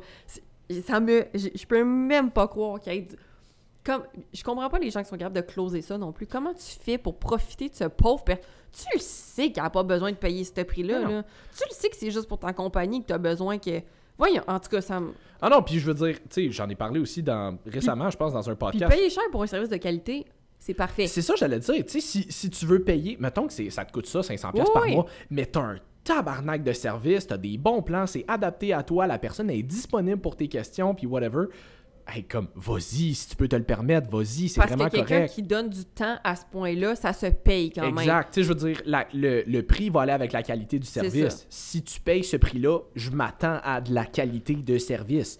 Mais, euh, mais c'est ça, mais tu sais, j'en ai parlé dernièrement. Tu sais, moi, c'est quand, c'est quand je suis parti à mon compte, je me suis promis que je ferais plus jamais de pitch de vente. Mhm. J'ai, j'ai ramassé beaucoup plus de clients en, étant juste honnête comme ça au Ben téléphone, puis en étant bien easygoing, facile, que j'en l'ai jamais fait en faisant des pitches de vente puis en ayant un script euh, au téléphone. Mais c'est tellement plus sincère, honnête, que les gens le ressentent ça, puis c'est rendu là, exactement comme j'ai expliqué à ma cliente à qui j'ai fait son évaluation hier quand on s'est appelé la semaine passée, je disais, tu sais, moi je fonctionne pas à contrat parce que je suis pertinemment au courant que, un, on est un service de luxe. Fait que si jamais il arrive quoi que ce soit, coupure budgétaire ou whatever, je le sais qu'on est des premiers à partir. C'est correct. J'ai pas envie que tu te mettes dans la rue pour être capable de me payer. J'ai pas envie que tu sois malheureux, malheureuse pour pouvoir me payer non plus. Je veux pas que tu restes avec moi juste parce que t'es forcé. Puis c'est exactement ça. Comme je m'excuse, si t'as pas envie de rester, mais pas une question de budget, tu trouves que c'est pas un bon fit ou whatever, Va-t'en. j'ai pas envie que tu restes. J'ai pas envie de te forcer à rester ici juste parce qu'on a un contrat. J'aurais pas plus envie de travailler avec toi si t'as pas envie de travailler avec moi. Je vais le ressentir, tu vas le ressentir. Puis ça va, on va juste être les deux malheureux là-dedans. C'est ça. Oui, ok, je vais avoir une paye, mais comme je peux aller la chercher ailleurs, ma paye. Je suis pas Ben à un client près d'être capable de, de- de vivre. Là. Ben, Fait que, exact. tu sais, si vous avez. Si vous vous prenez un suivi, c'est pour ça qu'on dit, comme on met vraiment l'emphase là-dessus, là, comme magasiner vos services. Parce que faut que vous ayez cherché quelqu'un qui. quelqu'un ou un programme ou whatever qui fit vraiment avec vous. Puis de grâce, arrêtez de DM des coachs, c'est quoi tes prix? Parce que t'es pas supposé de te magasiner un prix. Quand tu vas voir un ou une coach, c'est parce que t'es supposé avoir analysé son contenu que tu vois Ouais. sur les médias, tes médias sociaux. Tu sais, moi, je dis tout le temps, ben, écoute, on, on va se, on va céduler un appel, puis on va regarder si tes besoins correspondent à ma méthode de fonctionnement, puis on va juste prendre le temps de jaser un petit peu parce que je veux apprendre à te connaître, je veux savoir si on va être un bon fit, Exact. si on va, tu sais, ça se peut qu'au bout d'un mois, deux mois, on se rende compte, ah, tu sais, finalement, euh, c'est pas, puis c'est super correct, comme Ben tu oui. dis, t'as pas d'attache, mais si tu te magasines un prix, tu viens de te tirer dans le pied en partant. Parce que là, si tu vas juste parce que ben, telle personne est moins chère que telle personne, puis t'as pas appris, mettons, à la connaître, ou parce que si tu me dis c'est quoi ton prix, je te dis tant c'est tant par mois. OK, fine, peut-être que ça fait, peut-être que ça fait pas, mais moi, premièrement, je veux pas travailler avec toi parce que tout ce que tu te magasines, c'est un prix. Ouais. T'as pas pris le temps de regarder mon contenu, t'as pas pris le temps de regarder est-ce que tu m'aimes en tant qu'être humain. Mm. Euh, c'est du coaching, là. C'est pas un produit, je te vends, là. Tu m'achètes pas des chandelles, là. Non, non, hey, c'est du one-on-one. là. C'est du on la- one-on-one. On va avoir une relation là-dedans. là. C'est ça, c'est pas. Puis c'est pas non plus du semi-privé où est-ce que, comme je suis avec plein d'autres personnes, puis C'est je veux ça. dire, c'est pas tant grave si on bonne pas plus qu'il faut, parce qu'au pire, tu vas bonne avec les autres, puis t'es t'es là pour l'expérience. C'est pas un cours de Zumba, là. Non, non. Fait que, tu sais, c'est super important que quand vous magasiniez votre coach, vous, re- vous regardiez ça aussi. Puis je le sais que de nos jours, prendre le temps d'analyser du contenu, c'est pas le point fort de tout le monde, hein? Calice. Quand je prends, mettons, TikTok, que Tony, que ça fait à peu près 200 vidéos sur les greens qu'il fait, puis que quand il fait une vidéo sur les greens, c'est encore la question « C'est quoi ça les greens? » Sacrement, prenez le temps d'aller sur son profil 5 minutes pour aller voir. OK, en plus, c'est tagué, genre, mais... Si Ah, puis des fois, même plus, euh, plus cave que ça, Paul Carter l'a posté euh, cette semaine, je pense. Il y a quelqu'un, il avait posté une vidéo, puis dans, en dessous de la vidéo, il y a toujours le caption où est-ce qu'il y a, tu sais, il y a comme un, un texte plus descriptif. Il y a quelqu'un qui a posé une question sur quelque chose qui était écrit explicitement dans le caption.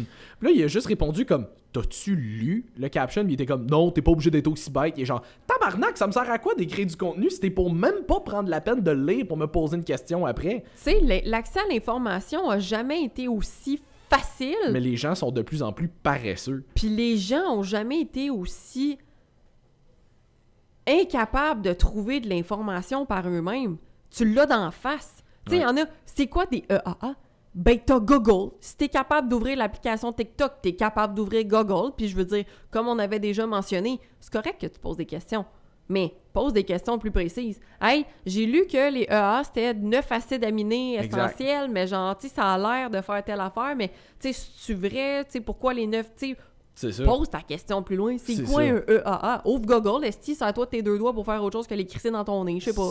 tu sais, fais un minimum de recherche, justement. Tu sais, tu, si tu m'écris c'est quoi des EAA, à quoi ça sert, je vais juste envoyer un lien Google. Je vais tellement réécouter ça, puis je vais faire. Hi. Non, mais. Avais-tu faim pendant le podcast, Jess? Non, moi, oui, en tout cas. Ouais. Mais. euh, Mais c'est ça, je vais juste envoyer un lien Google. Si tu m'écris, hey, j'ai fait. euh, je suis allé voir sur Google, les EAA, c'est comme les 9 acides aminés, ça a l'air. Ça, ça a majoritairement de l'air d'une protéine. C'est-tu mieux ou moins bon qu'un shake de protéines, mettons, Ouais, ou c'est sensiblement la même chose? Hey, là, ta question est pertinente parce ça. que c'est, je comprends la confusion. Je comprends que c'est pas une information que tu vas nécessairement trouver facilement par toi-même. C'est ça, ça va peut-être être plus Tu difficile. peux là. trouver plein de réponses bizarres, puis c'est dur à interpréter quand tu connais pas ça. Ça, ça fait tout le temps Hey, plaisir. ça me fait plaisir. Je fais encore des Q&A à toutes les semaines exprès pour ce genre de questions-là. Mais si t'avais oui, juste à swipe un petit peu puis lire un petit peu les descriptions, là, genre, parce que maintenant, quand on fait des vidéos, genre sur TikTok, c'est écrit en gros, là, c'est quoi qu'on va dire dans la vidéo. Ah ouais, c'est ça. Si t'as juste pris le temps d'écouter cette vidéo-là, moi, je, puis je comprends pas que le monde fasse pas ça, parce que quand je veux une information, ou quand je, je suis pas certaine de qu'est-ce que quelqu'un est en train de dire, c'est, ça a toujours été mon premier réflexe. Mettons, là, suis pas convaincue que la personne, c'était ça le message de son vidéo. Je regarde un peu c'est quoi le vibe, puis je suis pas sûre je l'aime, je l'aime pas. Je vais swiper, je vais aller voir le reste de son contenu, puis je vais faire OK, je comprends c'est dans quelle optique qu'elle avait dit ça, tu sais, ça part de où, puis tu sais, c'est quel type de personne. Ouais. Je vais faire un peu de recherche, je vais pas juste commenter T'es une conne. Tu sais, Ah, ça, c'est l'enfer. Genre, je comprends pas comment le monde sont rendus paresseux sur les internets, ça n'a aucun sens. Je sais que c'est pas notre auditoire parce que vous êtes beaucoup plus intelligent que ça. mais comme si vous avez des gens autour de vous qui font ça, de grâce, réveillez-les, faites quelque chose. Non, non, c'est ça. Fait que, tu sais, prenez la peine, prenez la peine de faire vos recherches en termes de... Puis, tu sais, mettons que vous voulez vous magasiner un coach, puis que... c'est c'est vraiment ça, là, tu te magasines un coach. Oui, oui. Tu sais, idéalement, écris pas un coach ou une coach. À moins que tu saches déjà en partant, ça fait un bout que tu, tu le suis, la suis, tu le sais que c'est vraiment comme un vibe. Vous écoutez notre podcast depuis plusieurs mois, vous, vous, nous, entre guillemets, connaissez un peu, vous savez comment on fonctionne. Tu sais si tu nous haïs ou si tu nous aimes bien. C'est ça. Après une couple de semaines, là, tu commences à gager notre vibe un petit peu. Euh, mais tu sais, si c'est quelqu'un, si tu connais pas trop ça, t'es pas trop sûr, écris à plusieurs personnes, vois comment ils fonctionnent, puis Mm. comme tu dis, pose pas juste la question, tu coûtes combien, tu sais, c'est quoi tes prix? Pose, pose des questions. Qu'est-ce qui est important pour toi? Qu'est-ce que tu recherches? Moi, ça, c'est une question que je pose toujours en évaluation. Qu'est-ce que le meilleur coach au monde pourrait faire pour toi spécifiquement pour t'aider à atteindre tes objectifs? Mais ça, c'est le genre d'affaires qu'il faut que tu saches parce que si tu sais même pas de quoi tu as besoin, n'importe qui peut te vendre sa salade. C'est ça. N'importe qui. Fait que si tu sais très clairement, OK, moi, je sais que j'aurais besoin euh, d'encadrement niveau alimentation, parce que l'alimentation, je m'y perds beaucoup, puis j'ai l'impression que, tu sais, je me mélange. Je, suis un petit peu là-dedans. Euh, j'aurais besoin d'encadrement peut-être niveau entraînement. Je, comme, je, je sais comment m'entraîner, dans le sens, je sais comment bien faire les mouvements, mais je fais combien de séries, je fais combien de reps, euh, tu sais, quel genre de split que je devrais aller chercher. OK, cool. Fait que toi, je sais que c'est vraiment plus niveau structure de ton plan que tu vas avoir de besoin. Est-ce que c'est plus, euh, tu sais, de la redevance que tu cherches peut-être quelqu'un qui est plus en arrière de toi pour, comme, pas nécessairement te donner un coup de pied dans le cul, mais tu sais, faire comme, tu sais, là, on, on a tel objectif, on veut être sharp là-dessus, puis comme à chaque semaine que oui, à travers les check-in, te disent peut-être, OK, tu sais, hop, là, tu, tu déroges peut-être un petit peu de l'objectif que tu m'as donné, Mhm. on va peut-être comme rembarquer un petit peu plus à la track. Ah, fuck, OK, ouais. Le côté redevance, peut-être que toi, ça va, tu sais, ça va te donner un plus. Est-ce que Mais- tu as besoin de quelqu'un qui est doux avec toi? Est-ce que tu as besoin de quelqu'un qui te pousse vraiment dans le cul? T'as besoin de quelqu'un qui te dit tes quatre vérités ou tu as besoin de quelqu'un qui te flatte dans le sens du poil? C'est ça. Quel genre d'approche tu as besoin? c'est tout le genre d'affaires qui est entre guillemets nécessaire de savoir si tu veux aller chercher le meilleur suivi pour toi possible parce que peut-être que tu sais mettons tu nous écoutes puis tu trouves qu'on a un super bon vibe ben qu'on a un super bon vibe tu, tu trouves qu'on est des personnes avec qui tu penses que tu fitterais Ouais. Puis finalement on, on s'appelle puis tu te rends compte que de la manière qu'on fonctionne ça fit pas pantoute avec toi c'est correct Mhm. j'aime mieux que tu le saches maintenant que tu prennes une mauvaise décision que tu le regrettes puis qu'on perde notre temps tous les deux Exact. Tu sais, quelqu'un qui appelle, mettons, pour euh, améliorer ses performances athlétiques. Je peux t'aider mais je te le dis tout de suite je serai pas la meilleure personne pour toi Je veux bien croire que tu m'aimes, là. Mais moi, je vais avoir envie de me pendre à essayer de comprendre comment je peux te faire améliorer tes performances athlétiques. Fait que clairement, je vais te référer, par contre, vers des gens que je connais qui sont vraiment meilleurs que moi là-dedans. exact Tu sais, fait que c'est... On, on, puis Sim, puis moi, on est super bon pour référer aussi, là. Je veux Mhm. dire, c'est parce que Zéro problème. je veux pas travailler avec du monde avec qui je veux pas travailler. Puis je veux pas que ces pauvres gens-là travaillent avec moi s'ils m'aiment pas, là. Je veux dire, Ma personnalité ne peut pas plaire à tout le monde. Vraiment, mais vraiment pas. Il y a des journées où est-ce que ma personnalité ne me plaît pas à moi non plus. Genre aujourd'hui. Mais, Moi, je l'aime aujourd'hui, là. mais j'aime pas ça être violente parce que j'étais. Ben, j'ai. It has to be done, mais j'ai pas la personnalité. J'ai pas le, le tempérament. euh, pas acquis, mais requis pour être capable de de vivre avec les conséquences de cette facette-là de ma personnalité. c'est pour ça que ça se dit toujours behind closed doors. Oui! Mais c'est correct. un- Le podcast s'appelle Woke Up at Joe's Violence. Faut Exact. que ça sorte à porte ouverte de temps en temps. là. Oui, exactement, tu sais. Puis je veux pas, je l'ai tout le temps dit, mais je veux pas insulter personne. Mon but, c'est pas de blesser les gens non plus. Puis encore une fois, si tu le prends mal, c'est pas mon crise de problème si t'es trop sensible. Si Pas- tu le prends mal, c'est probablement parce que tu sais qu'à quelque part, elle avait raison. Oui, c'est ça. Mais non, mais c'est une joke. Parce que là, c'était c'était juste méchant. Mais dans le sens que si tu le prends mal, t'as peut-être de la réflexion à faire sur toi. Parce que mon intention n'est pas de te blesser. Donc, si tu te sens offensé par ce que je dis, c'est ton problème à toi. J'aimais le truc qui disait ta réaction en dit plus sur toi que sur ce que, Que la personne moi. a dit. Je veux dire, moi, moi mon intention, c'est de partager du contenu de façon peut-être un peu plus violente. Mais si t'es pas, si t'es pas capable de faire la part des choses puis de comprendre que c'est un discours qui est, oui, enflammé, mais plein de bonnes intentions, ben ton niveau de quotient intellectuel ne m'intéresse pas. Non, c'est ça. Comme point, comme les gens qui euh, ont un bâton dans le cul puis qui aiment pas l'humour noir, qui aiment pas, puis pas l'humour sur les. Ben, même ça, je veux dire, c'est très drôle aussi. Mais je veux dire, qui aiment pas le, le dark hu- humor. Dark humor, ouais. Tu sais, comme, je veux dire, c'est- correct. Je dis pas que t'es une mauvaise personne, c'est juste que. Ah, pas on- tout le monde qui est obligé de trouver tout drôle non plus. là. Non, non, pas, pas tout à fait, mais je veux dire, faut juste agree to disagree. T'es pas obligé de me dire que je suis une mauvaise personne parce que moi, ça. je trouve ça joke. Je trouve ça drôle, une joke de pédophile, par exemple. Non, ouais. Je trouve pas que la pédophilie c'est drôle, c'est dégueulasse. C'est ça. Je vais pleurer s'il y en a autour de moi. Comme, C'est ça. Je suis la personne la plus fucking chochotte et sensible sur la planète. I cry a lot. Comme mon chum fait quoi de cute, je pleure. Euh, des fois, il me niaise, puis je pleure. il est comme, tu brailles pas pour ça, pour vrai. Je suis comme, non. puis il rit encore plus de moi. Fait que, tu sais, c'est- vraiment pas plein de, de- de mauvaises intentions, mais c'est dans le sens que ça, ça se peut que ça plaise pas à tout le monde et c'est très correct. Mais moi, s'il y a quelqu'un, justement, que, qui a des valeurs ou des principes ou des choses qui, qui ne me plaisent pas, T'as le droit de juste passer à autre chose. je m'en vais pas DM le monde qui ont des comptes Herbalife pour leur dire qu'ils méritent de mourir, tu comprends? Comme ils méritent pas de mourir non plus. Non. Mais une petite rééducation, ça pourrait faire du bien, tu comprends? Mais. C'est pas ma mission d'aller vers ces gens-là pour leur dire, tu comprends? Fait que c'est juste ça. Fait que c'est mon petit côté euh, plus violent, mais sachez que j'ai un autre côté qui est vraiment très chochotte. Fait qu'insultez-moi pas, s'il vous plaît, ça me fait de la peine. mais c'est ça, fait que bref. Fait que ça pour dire que, tu sais, magasiner autant vos coachs. T'apparaît-tu que- que j'ai été traumatisée par les internets? Oui, vraiment. Mais à quelque part, c'est vrai, parce que je veux dire, tu sais, la désinformation est très présente avec les réseaux sociaux. Il y a beaucoup de très bonnes informations, mais il y a beaucoup de très mauvaises informations.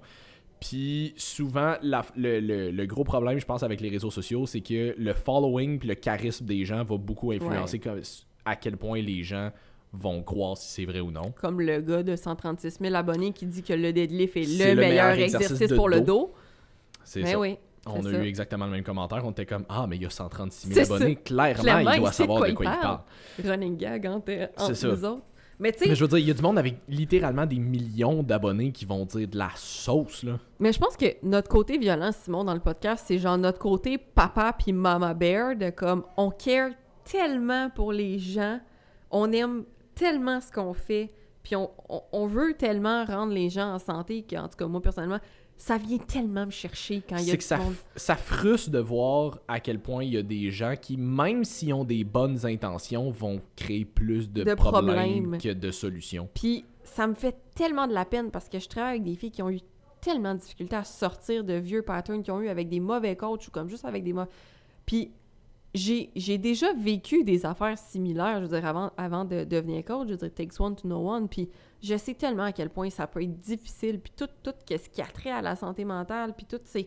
Puis le manque de ressources aussi, parce que je veux dire, j'en ai là des fois qui cherchent des psychologues alimentaires, puis Chris, il y en a pas à tous les coins de rue, des, psychologues qui se spécialisent en troubles alimentaires, des Non. choses comme ça.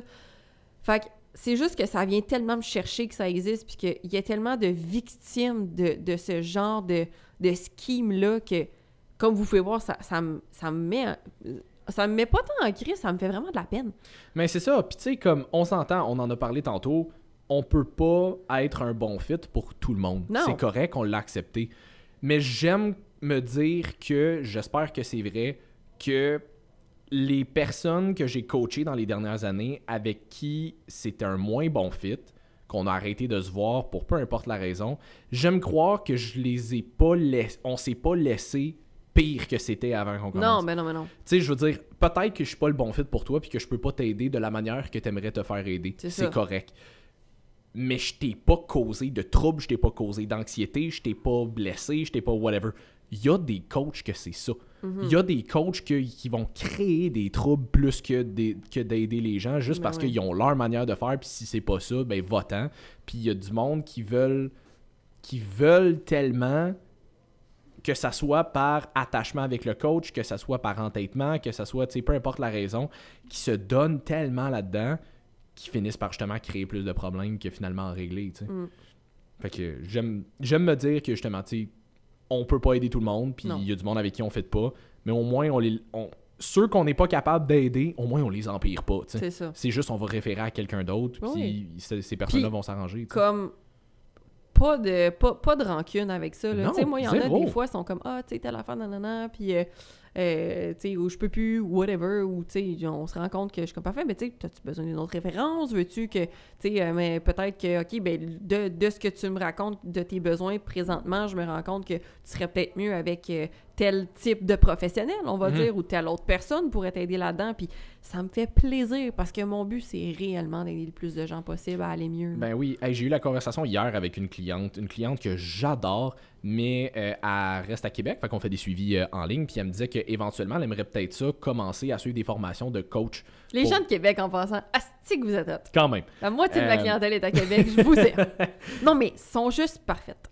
Puis euh, elle me dit justement qu'elle aimerait ça éventuellement commencer euh, peut-être à faire des formations pour minimalement avoir un site de coach. Elle ferait peut-être pas ça à temps plein, mais comme Ouais. en faire un peu. Et dans le fitness depuis quand même un bout, puis elle me disait, tu sais, je me fais souvent poser des questions par du monde, Ah, tu peux-tu me faire un plan alimentaire, un plan d'entraînement, whatever, puis elle se sent pas à l'aise là-dedans parce qu'elle a son expérience, mais pas nécessairement formée là-dedans.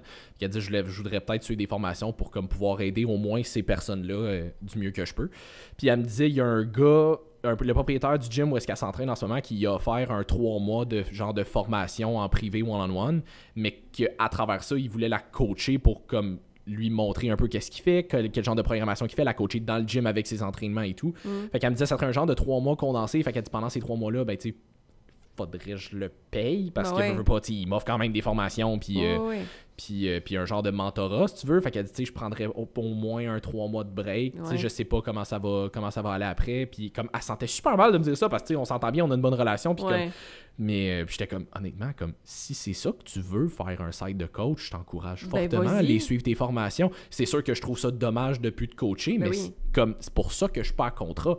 Je veux que tu puisses te permettre de prendre ce genre de décision-là si jamais tu juges que c'est ça que tu as besoin. Que tu te sentes pas mal de le faire. Puis que tu te sentes pas mal de le faire, puis je veux dire, ça se peut que finalement tu trouves que sa méthode à lui fit moins avec toi, puis tu préférais ma méthode, ce qui est correct, tu vas l'avoir essayé, au moins tu vas pouvoir te créer une deuxième opinion, puis rendu là, ben tu te fais ta propre idée à toi. Mhm. Peut-être que finalement tu vas te rendre compte que sa méthode à lui fit encore mieux que la Mhm. mienne, puis comme tant mieux si tu veux continuer avec, ultimement, moi je veux juste ton bien. Mhm. Si toi t'es bien là-dedans, vas-y, puis tu sais, je t'encourage à sortir de ta zone de confort puis d'essayer des affaires. Je suis pas en train de dire à tous mes clients d'aller voir d'autres coachs. Ça, Euh, j'allais dire, à la fin de ce podcast-là, on aurait plus un crise de clients. mais tu sais, si j'ai. Si pas vrai, il y a des clientes pour qui je sais que je suis littéralement le meilleur fit. Définitivement. Définitivement. Définitivement. Mais, euh, mais c'est ça, fait que, tu sais, tout ça pour dire que c'est ce genre de relation-là que je vais avoir avec mes clients. S'il arrive quoi que ce soit, je veux pas que tu te sentes mal de prendre la décision que tu juges qui est le mieux pour toi. Parce que moi, je veux que tu prennes la, la meilleure décision pour toi. Puis moi, je vais essayer d'ori- d'orienter mes décisions et mon coaching en fonction de t'offrir la meilleure option le plus possible. Mm, ouais, puis tu sais, moi, j'ai une relation où est-ce que, premièrement, je veux, je mise la santé de mes clientes avant leur transfo. Comme, on, moi, il faut que j'y parte de zéro. là. Comme, on, on scrape tout puis on recommence.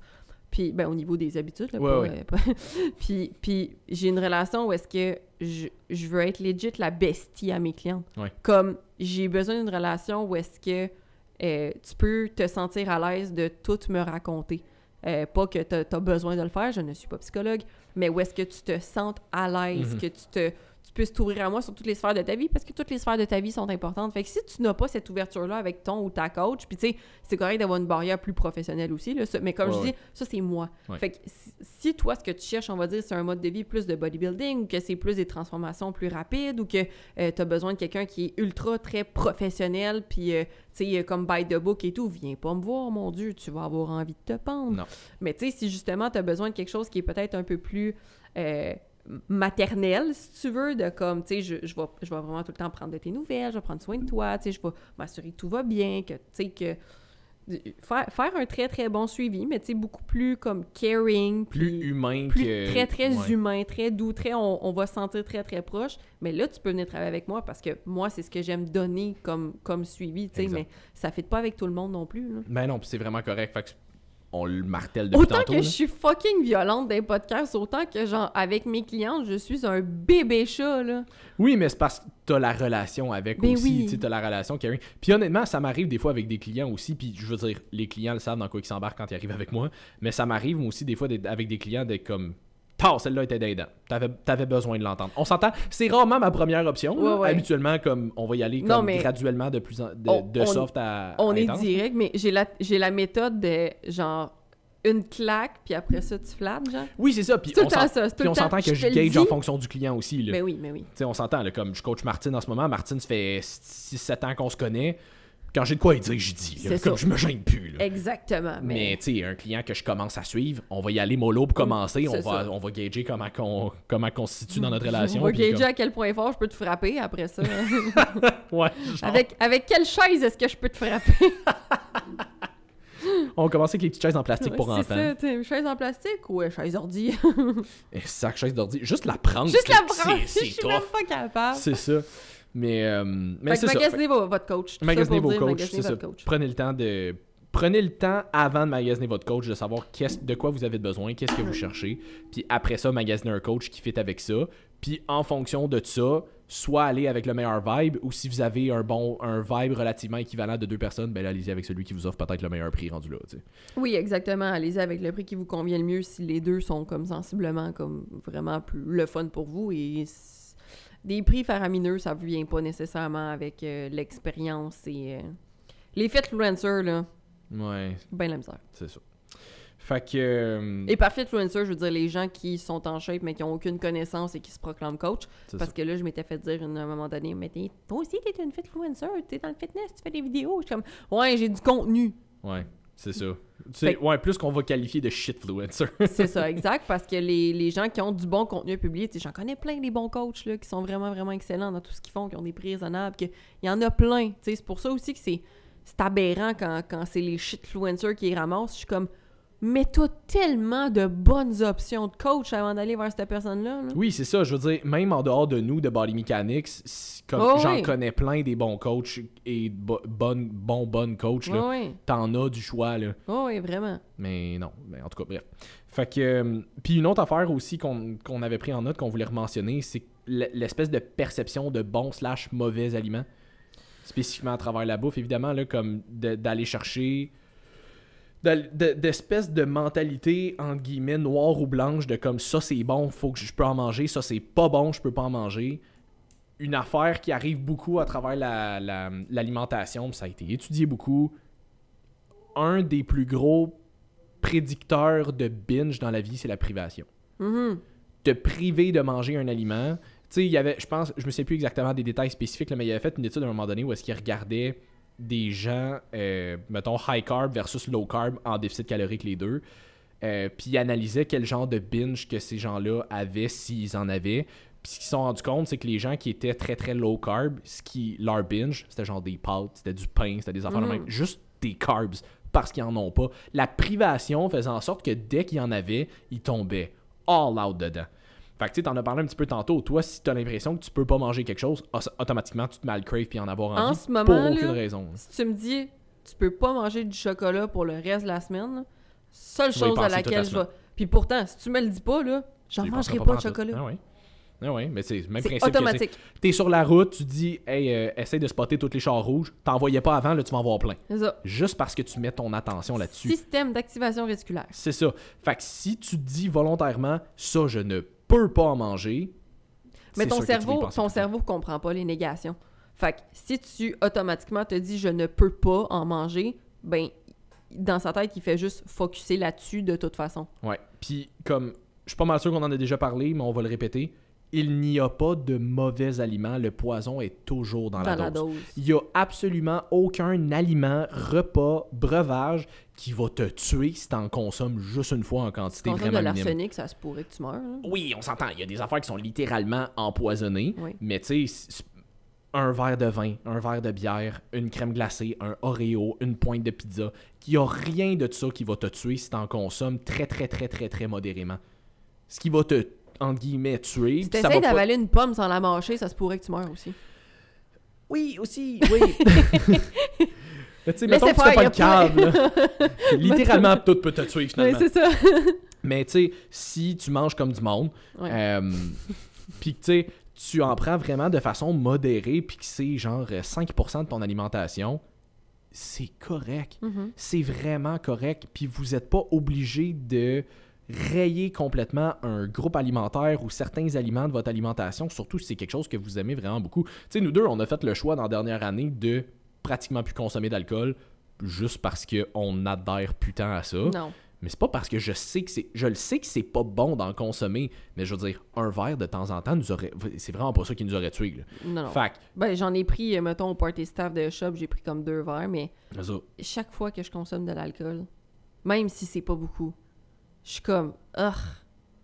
Chaque fois, ça me turn off un peu plus, puis j'ai encore moins envie d'en prendre. Exact. Fait Fait que tranquillement, pas vite, je ça, m'en j'allais viens dire, vers le ça se peut que ce qui va faire qu'à un moment donné, t'en boiras juste plus Exactement. du tout. Puis je veux dire, rendu là, tu sais, mais tu le feras pas dans l'optique de c'est vraiment pas bon de faire ça, faut Non, pas non, que j'en prenne. Juste dans l'option de moi, j'aime pas comment je me sens quand j'en prends, fait que j'en prendrai pas. Puis c'est comme ça qu'on intègre des habitudes de vie, je veux dire. Quand j'avais, euh, il y a quatre ans avant la pandémie, là, je faisais rien que ça, me torcher à tous les fins de semaine. J'en oui. buvais en crise de l'alcool. C'est pas oui. passé du jour. Dans ce temps-là, si tu m'avais dit, il faut t'arrêter l'alcool, j'arrivais à Bonne blague. Non. Mais c'est un processus. Ah en quatre ans, j'en prends encore un peu, là, mais tranquillement, pas vite. Puis pas parce que je me force, juste parce que de plus en plus, je vois les... euh, je ressens les impacts négatifs sur mon corps. Et de plus en plus, ben, le plaisir d'en prendre versus les impacts négatifs, ben, ça me turn off de plus en plus. C'est juste ça. Ben, c'est ça. Fait que, tu sais, il y a des affaires de même que graduellement. Puis, euh, je pense qu'au fur et à mesure de ton parcours, entre guillemets, de fitness, plus tu vas en apprendre sur toi, plus il y a des affaires comme ça, ça sera pas nécessairement spécifique à l'alcool, mais Ouais. plus il y a des affaires comme ça que tu vas faire comme Oh, ça finalement, ça passe peut-être moins bien.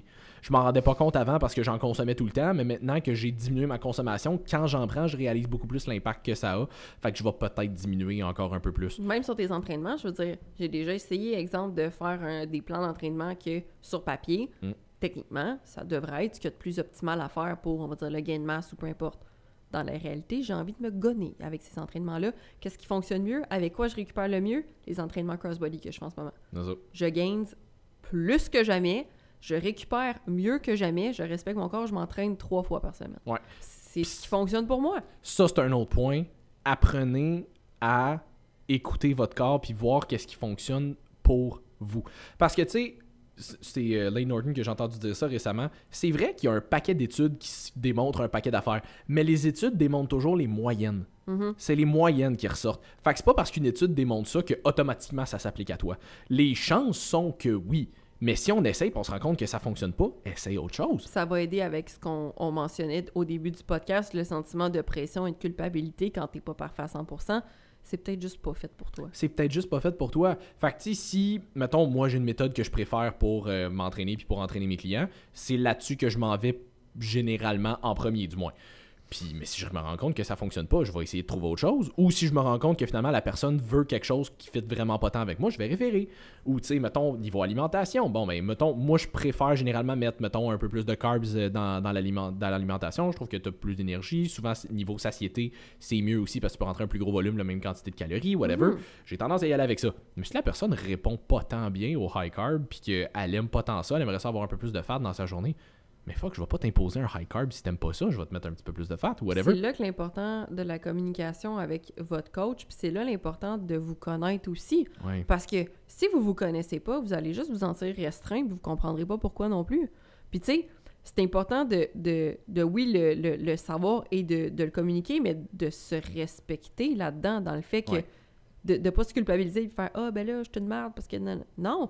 mais tu sais aussi de rejoindre l'autre dans le milieu, dans le sens que moi, je peux te donner, mettons, beaucoup moins de carbs, on peut aller plus high fat, mais je veux dire, mettons, dépendamment de l'objectif que vous vous mettez, ça se peut qu'il y ait des petits barèmes qu'on puisse moins négocier. Mhm. Tu sais, je veux dire, exemple, euh, euh, t'es dans une phase où est-ce que t'es en arrêt de travail parce que t'es en dépression, parce que tu files vraiment pas bien, ton, ton système nerveux, il est surtaxé, non, non, non. Mais c'est peut-être pas le temps de te mettre une phase neurale, même si t'aimes ça, euh, même si ça serait, mettons, la phase que t'aimes le plus dans ton workout, puis ben, c'est peut-être pas le temps non plus de te couper tes calories, puis de te couper euh, tout ce que, que t'aimes manger, puis de, tu sais, fait qu'à un moment donné, c'est aussi d'être logique, de comme, faut pas vous forcer à faire des choses que vous voulez pas, mais si vous avez des objectifs même- précis, ça prend quand même des méthodes un petit peu plus précises, là. C'est ça, tu sais, mettons dans une optique de perte de poids, peu importe l'approche que tu vas utiliser, ça va toujours impliquer une certaine forme de restriction quelconque. C'est juste d'essayer de trouver la méthode de restriction qui fait en sorte que tu la ressens la moins restrictive possible. Ou que t'arrêtes de percevoir ça comme une restriction. Non, mais dans le sens, tu sais, mettons, euh, tu veux perdre du poids, ça prend un déficit calorique. OK. Fait que c'est quoi la méthode qui va faire en sorte que tu sois capable de d'adhérer à un déficit calorique en ayant le moins de restrictions possible?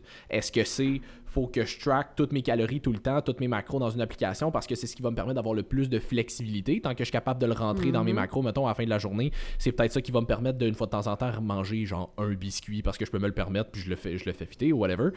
Peut-être que oui. Pour d'autres personnes, ça va être un ça va être un enfer de tout calculer tout le temps. Fait qu'est-ce que pour toi, c'est plus facile de faire un jeûne intermittent parce que de restreindre la fenêtre de temps que tu vas manger et pas mourir idéalement, euh, que tu vas restreindre la fenêtre de temps dans laquelle tu vas manger dans une journée, fait en sorte que ça te facilite la tâche à moins manger. Peut-être, il y en a pour qui le jeûne ça fonctionne super bien, il y en a pour qui ça fonctionne moins bien. Fait que tu sais, il y- a plein de méthodes que tu peux utiliser pour atteindre tes objectifs, c'est de trouver la forme qui fit le plus avec toi. Pas celle qu'on va t'imposer, pas celle qui a fonctionné pour telle personne, celle qui va fonctionner pour toi. Puis ça, tu vas le savoir en faisant du essai-erreur au début, puis idéalement en ayant un minimum de suivi, de coaching, whatever, pour, à travers un, justement, un- une évaluation, déterminer qu'est-ce qui serait le plus probable de fonctionner pour toi. Puis c'est pour ça qu'il n'y a pas de bons ou de mauvais aliments, parce que quelque chose qui peut être excellent pour quelqu'un, ça peut être la vraie merde pour toi. Dans tous les cas, vous le savez, les aliments transformés, on essaie de les éviter, ça se trouve pas dans la nature. Si t'en cueillais pas dans le temps des mammouths, ben idéalement, mets-les pas plus dans ta bouche aujourd'hui. Ouais, c'est ça. Puis je veux dire, jusqu'à un certain point, là, comme faut pas virer fou avec ça non plus, là. Je veux dire, de la whey, ça se trouvait pas. euh, Non, non, non, mais dans le sens, dans, les, les aliments ah, si oui, les vaches devaient être sèches en tabarnak, de la whey. les, les mélanges de, de, de gras, de, de glucides, de, ben, les gras puis de sucre, là, Ouais, ouais. genre des beignes, des Joe Louis, des chips, des affaires dans même. tu peux en manger, mais en, en plus petite quantité. Ça devrait pas être 80% de ton alimentation. Exact. Puis de toute façon, tu vas le ressentir que c'était pas nécessairement le choix Ben le plus ouais. judicieux. Tu vas filer comme de la merde. Tu vas avoir un crash d'énergie. Ouais, mais il y en a, parce qu'ils sont rendus qui filent juste tout le temps de même. Mais c'est ça mais je veux dire, tu sais, mettons, t'as as entamé ton processus, puis là, Ouais, tu ouais. vas commencer à, faire des changements. Juste le fait de moins manger ou moins boire de certaines affaires va faire en sorte que dès que tu vas en reconsommer, tu vas le sentir tout de suite. là. Exact. Fait que. euh, fait que c'est ça. Hey, on a parlé quand même euh, pas mal dans la dernière heure et demie déjà. Puis, euh, quasiment. dernier point pour votre 2024, là, on le répète tout le temps, mais tu seras pas motivé tout le temps. Ah, la petite motivation. C'est ta constante. Je veux dire, va, prends juste aujourd'hui, là, à soir, là. Genre, je me les gèle dans le local, là. Puis Hmm. comme clairement, j'avais pas le cerveau qui était là pour faire un Hmm. podcast aujourd'hui. Moi, j'ai trouvé ça excellent. C'était excellent. J'ai l'air d'une itinérante. J'avais oublié qu'on tournait aujourd'hui. Puis je suis dit pour faire mes cheveux chez la coiffeuse demain. Fait que... Mais je veux dire, on tourne pas un podcast à toutes les semaines. Oui, ça nous tente, Simon puis moi. oui, mais je veux je dire, on a du fun à le faire. on là. a vraiment du fun à le faire, mais si on a autant d'épisodes, c'est parce qu'on est constant. Puis je veux dire, oui, ça arrive des semaines que nos horaires peuvent pas concorder ou comme on s'est trompé et tout, mais on, on va le refaire la semaine prochaine, puis on, on se tape pas sa tête en disant. Non, non, c'est ça. Parce qu'il faut que ça reste le fun. Le fun, c'est ça.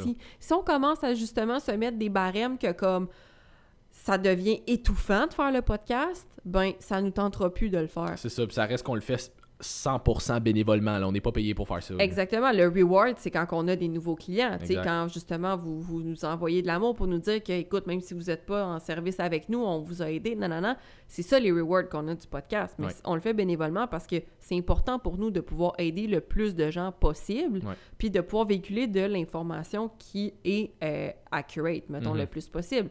Fait que, tu sais, mais ça nous tente tout le temps de tourner des podcasts, mais je veux dire, il y a clairement des semaines où est-ce que ben on aurait fait peut-être autre chose ou que ça fitait peut-être un peu moins bien dans l'horaire ou que ben écoute euh, mettons que si on avait peut-être pu le filmer demain matin au lieu de à la fin de ma journée ça aurait peut-être donné quelque chose de meilleur. Fait que si vous voulez le transférer à votre processus, il y a des workouts où est-ce que tu vas aller t'entraîner, puis ben c'était peut-être pas le moment le plus optimal pour t'entraîner, puis ça sera peut-être pas le meilleur workout que tu vas avoir eu, mais au moins tu vas l'avoir fait. C'est Ouais. pas parfait, mais c'est fait quand même. Ouais. Il y a peut-être des moments où est-ce que euh, tu vas avoir moins pris le temps de t'organiser, fait que ta meal prep va être moins sacoche, peut-être que tu vas compenser un peu ici et là avec des barres grenades, des choses comme ça, mais au moins dans l'ensemble, tu vas avoir une meilleure structure.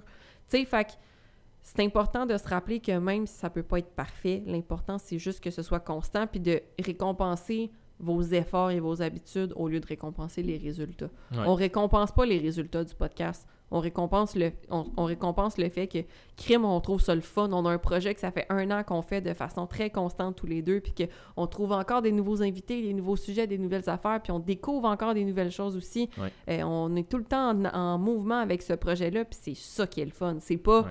Ah ben là, euh, on s'attendait à avoir euh, 10 000 nouveaux abonnés euh, podcast, puis là, ben c'est pas le cas, fait qu'on va abandonner. Non, non, c'est pas ça. C'est pas ça l'idée. Puis tu sais, votre motivation va être on and off tout le temps. Tout le temps. Elle fun quand t'es là. Ben oui. Hey, si on pouvait vendre la motivation en pilule, là, ça serait probablement le supplément le plus cher au monde. 5 Mais c'est- HTP. Ouais, ouais. Mais c'est pas de même, ça fonctionne. Ta, ta motivation, t'auras jamais 100% le contrôle là-dessus. Il y a des affaires que tu peux faire qui vont t'aider à te motiver. Adderall. Il y a des affaires que tu peux faire pour aider, mais t'auras jamais 100% le contrôle là-dessus. Ah. Et tu vas inévitablement avoir des passes dans ta vie où est-ce que ça va moins te tenter que d'autres. Que ça soit de t'entraîner, de faire ta meal prep, de whatever. Il va en avoir des moments comme ça. On en a nous autres aussi, puis c'est notre vie de faire ça. Mhm. Fait que T'imagines quand c'est pas genre ta passion de faire ça? c'est ça. Tu sais, nous, c'est notre job, c'est notre vie. On se passionne, on se forme comme on, on fait ça de On notre se vie. passionne. Non, non, mais je- on est passionné. Euh, moi, tu me passionnes beaucoup, Jess. Ouais. tu me passionnes aussi, Simon. wink, wink. Ouais. Euh, mais euh, mais c'est ça, fait de, de penser que tu vas toujours être motivé, c'est complètement irréaliste. Puis si tu attends toujours d'être motivé, puis que dès que tu as une baisse de motivation, tu le fais pas, tu n'auras pas les résultats que tu veux. faut que tu développes la routine de le faire. Est-ce que tu as besoin de te primer pour aller te brosser les dents le soir? Je pense pas. C'est ta routine. Même si c'est pas quelque chose qui te tente tant que ça. Ouais, c'est ça. J'écoute des vidéos de motivation pour aller me brosser les dents le soir. Non, c'est ta routine. Tu le sais qu'il faut que tu le fasses. Parce que sinon, tu auras une hygiène de, de buccale de merde. Fait c'est le même principe. Si tu sais que c'est ça que tu as besoin de faire pour atteindre tes objectifs, autant de prise de masse, de perte de gras, de juste meilleure santé générale, fais ce que tu sais que tu dois faire, même quand ça te tente pas. Prends Ta- la plus petite action possible chaque jour. Juste Même- pour dire que tu fais quelque chose. Comme tu dis, ça sera peut-être pas la meilleure journée, mais t'es pas obligé d'avoir la meilleure journée à tous les jours. Parce que je m'excuse, là, si t'as toujours de, de fois en fois une meilleure journée que l'autre d'avant, hey, comme les, les attentes s'en viennent de plus en plus élevées. Là. Puis c'est des montagnes russes, là. C'est ça, c'est correct d'avoir des journées de marde. C'est d'essayer de faire du mieux que tu peux avec ce que t'as à ce moment-là. Mhm. Ça va arriver des fois que t'auras pas de motivation. Fais ce que tu peux avec. Peut-être que t'as eu une, vraiment une nuit de marde puis t'es vraiment brûlé cette journée-là. Ton workout te tente calissement pas, t'aimerais mieux rester assis dans ton divan et écouter Netflix. Au pire, fais la moitié du workout. Sais, juste le fait d'embarquer dans ton char et te rendre jusqu'au gym, souvent, juste ça, c'est c'est la partie la plus difficile.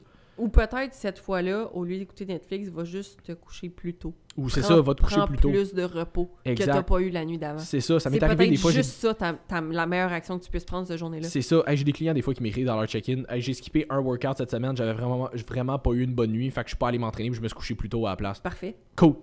Cool. Bonne décision. Si tu jugeais que c'était ça la meilleure décision à ce moment-là, je la respecte à 100%. Voilà. Cool.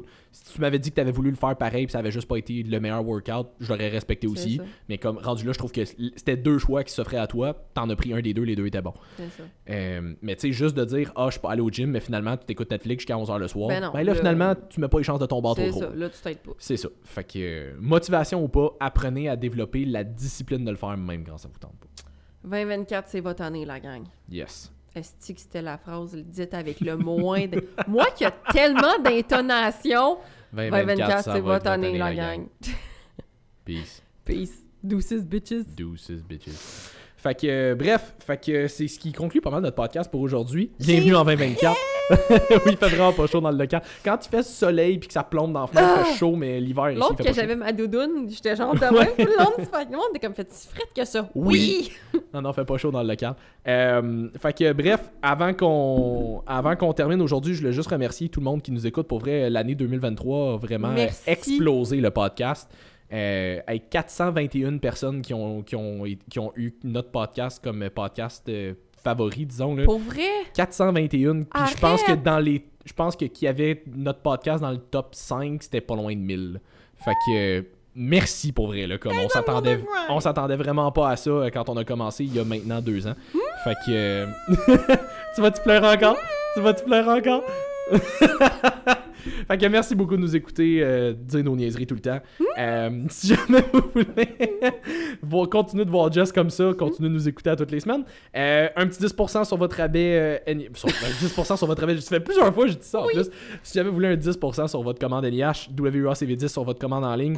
Moi, j'étais encore bien high sur les, les, Herb- les Herbal Night. Là. Moi, pour vrai, mon dodo avec ça, c'est fantastique ce que ça Same. fait. Herbal Night for the win, puis Adreno, man. Adreno. Quand Ouais. j'ai besoin d'une bonne journée, là, que je suis dans le col, puis faut pas que je sois dans le col, là, Adreno. Ouais. C'est merveilleux, je l'adore. Euh, Je viens de recevoir mes, mes prébios, j'ai hâte de les essayer. Ouais, euh, puis rest, euh, pas Restful, excuse, euh, Gut Restore. Gut Restore, que... Ah, je l'ai pas essayé, ça non. Ah mon dieu, si vous êtes stressé, la gang, puis votre digestion, c'est de la merde, Gut Restore, c'est merveilleux. To go supplément, Ouais. by the way, zéro sponsor, mais j'ai demandé à Tony d'avoir un code, fait que Jessie 10, si je me souviens bien, pour un 10% de rabais. Euh, c'est aussi valable sur les samples qu'il a sortis, fait que si vous n'êtes Oui. pas certain, il a sorti vraiment comme des échantillons pour que vous puissiez essayer chacune des saveurs et ensuite prendre un pot complet. C'est le meilleur remplacement de repas qui existe au Québec. Pour de vrai, c'est les meilleurs Ouais. macros. Euh, Tony a tellement mis d'efforts là-dedans. Tony qui est une merveille avec le public, avec les gens, qui a donné tellement de lui-même Ouais. et d'efforts pour bâtir quelque chose de solide. Euh, vous pouvez le DM aussi, s'il vous plaît. Si vous aimez ses produits, allez lui dire de grâce, il travaille. Juste ça. J'ai jamais vu quelqu'un travailler aussi fort que Tony. Pour Ah ouais. vrai, c'est un humain que j'adore. Tu sais, nous autres, on n'arrête pas de le dire, là, comme même quand c'est pas nos clients, quand on reçoit des commentaires de monde qui disent que notre podcast les a aidés de quelconque manière, ça Ah. nous fait toujours tellement plaisir. Même affaire pour Tony. Pour des fois, là, Tony, juste, juste un message pour dire que vous aimez ses produits. Là. Vraiment beaucoup. Puis ça, tout goût supplément, le code Jessie10, j'ai aucune ristourne là-dessus. J'ai juste demandé un code à Tony parce que je le sais que les gens ils aiment ça, avoir un petit rabais pour essayer les produits ou comme pour tout le temps les Ouais. recommander. Fait que sérieusement, comme, aller, co- c'est juste parce que je crois vraiment en son produit. Je l'adore quand je- j'ai besoin de collation, que je déjeune pas le matin au shop. Je prends tout le temps des scoops dans son pot. Euh, c'est vraiment, vraiment bon. Au niveau de la saveur, c'est délicieux. Ça s'amène bien. Les macros sont débiles. De grâce, allez encourager Tony. C'est une belle compagnie d'ici avec un humain formidable. Ouais, puis pour vrai, même si vous en prenez pas tous les jours, tu sais, mettons, j'en ai, des- j'en ai des pots chez Ben oui. nous, puis j'en prends, j'en prends vraiment pas tous les jours, même pas nécessairement toutes les semaines. Non, non. Mais la fois que j'en ai de besoin, je l'apprécie Ah, en esti, par exemple. là. on- Hey, ouais. vendredi matin, la semaine passée, on partait à Toronto, road trip. Fallait qu'on se lève à genre 5h15 le matin parce qu'en tout cas, on avait des trucs à faire avant.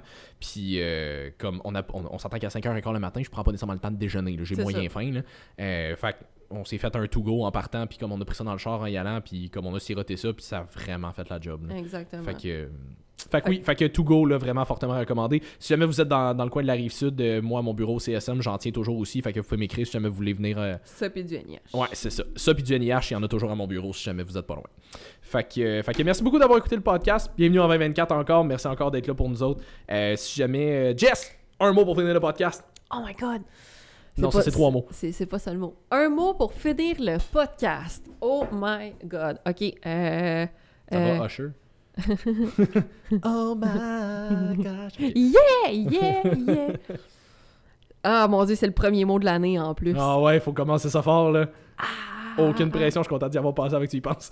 Oh my god. Faut, com- faut commencer ça fort. Ouais. Aucune pression. Et si pas. Hey, j'ai juste un mot dans la tête. Vas-y, c'est ça. J'ai 50 ans, je m'entends. Pas grave, vas-y. Pénétration. Of course it is. On pénètre l'année 2024. D'accord. Fait que pénétrons l'année tous ensemble avec un hashtag pénétration si jamais vous partagez le podcast.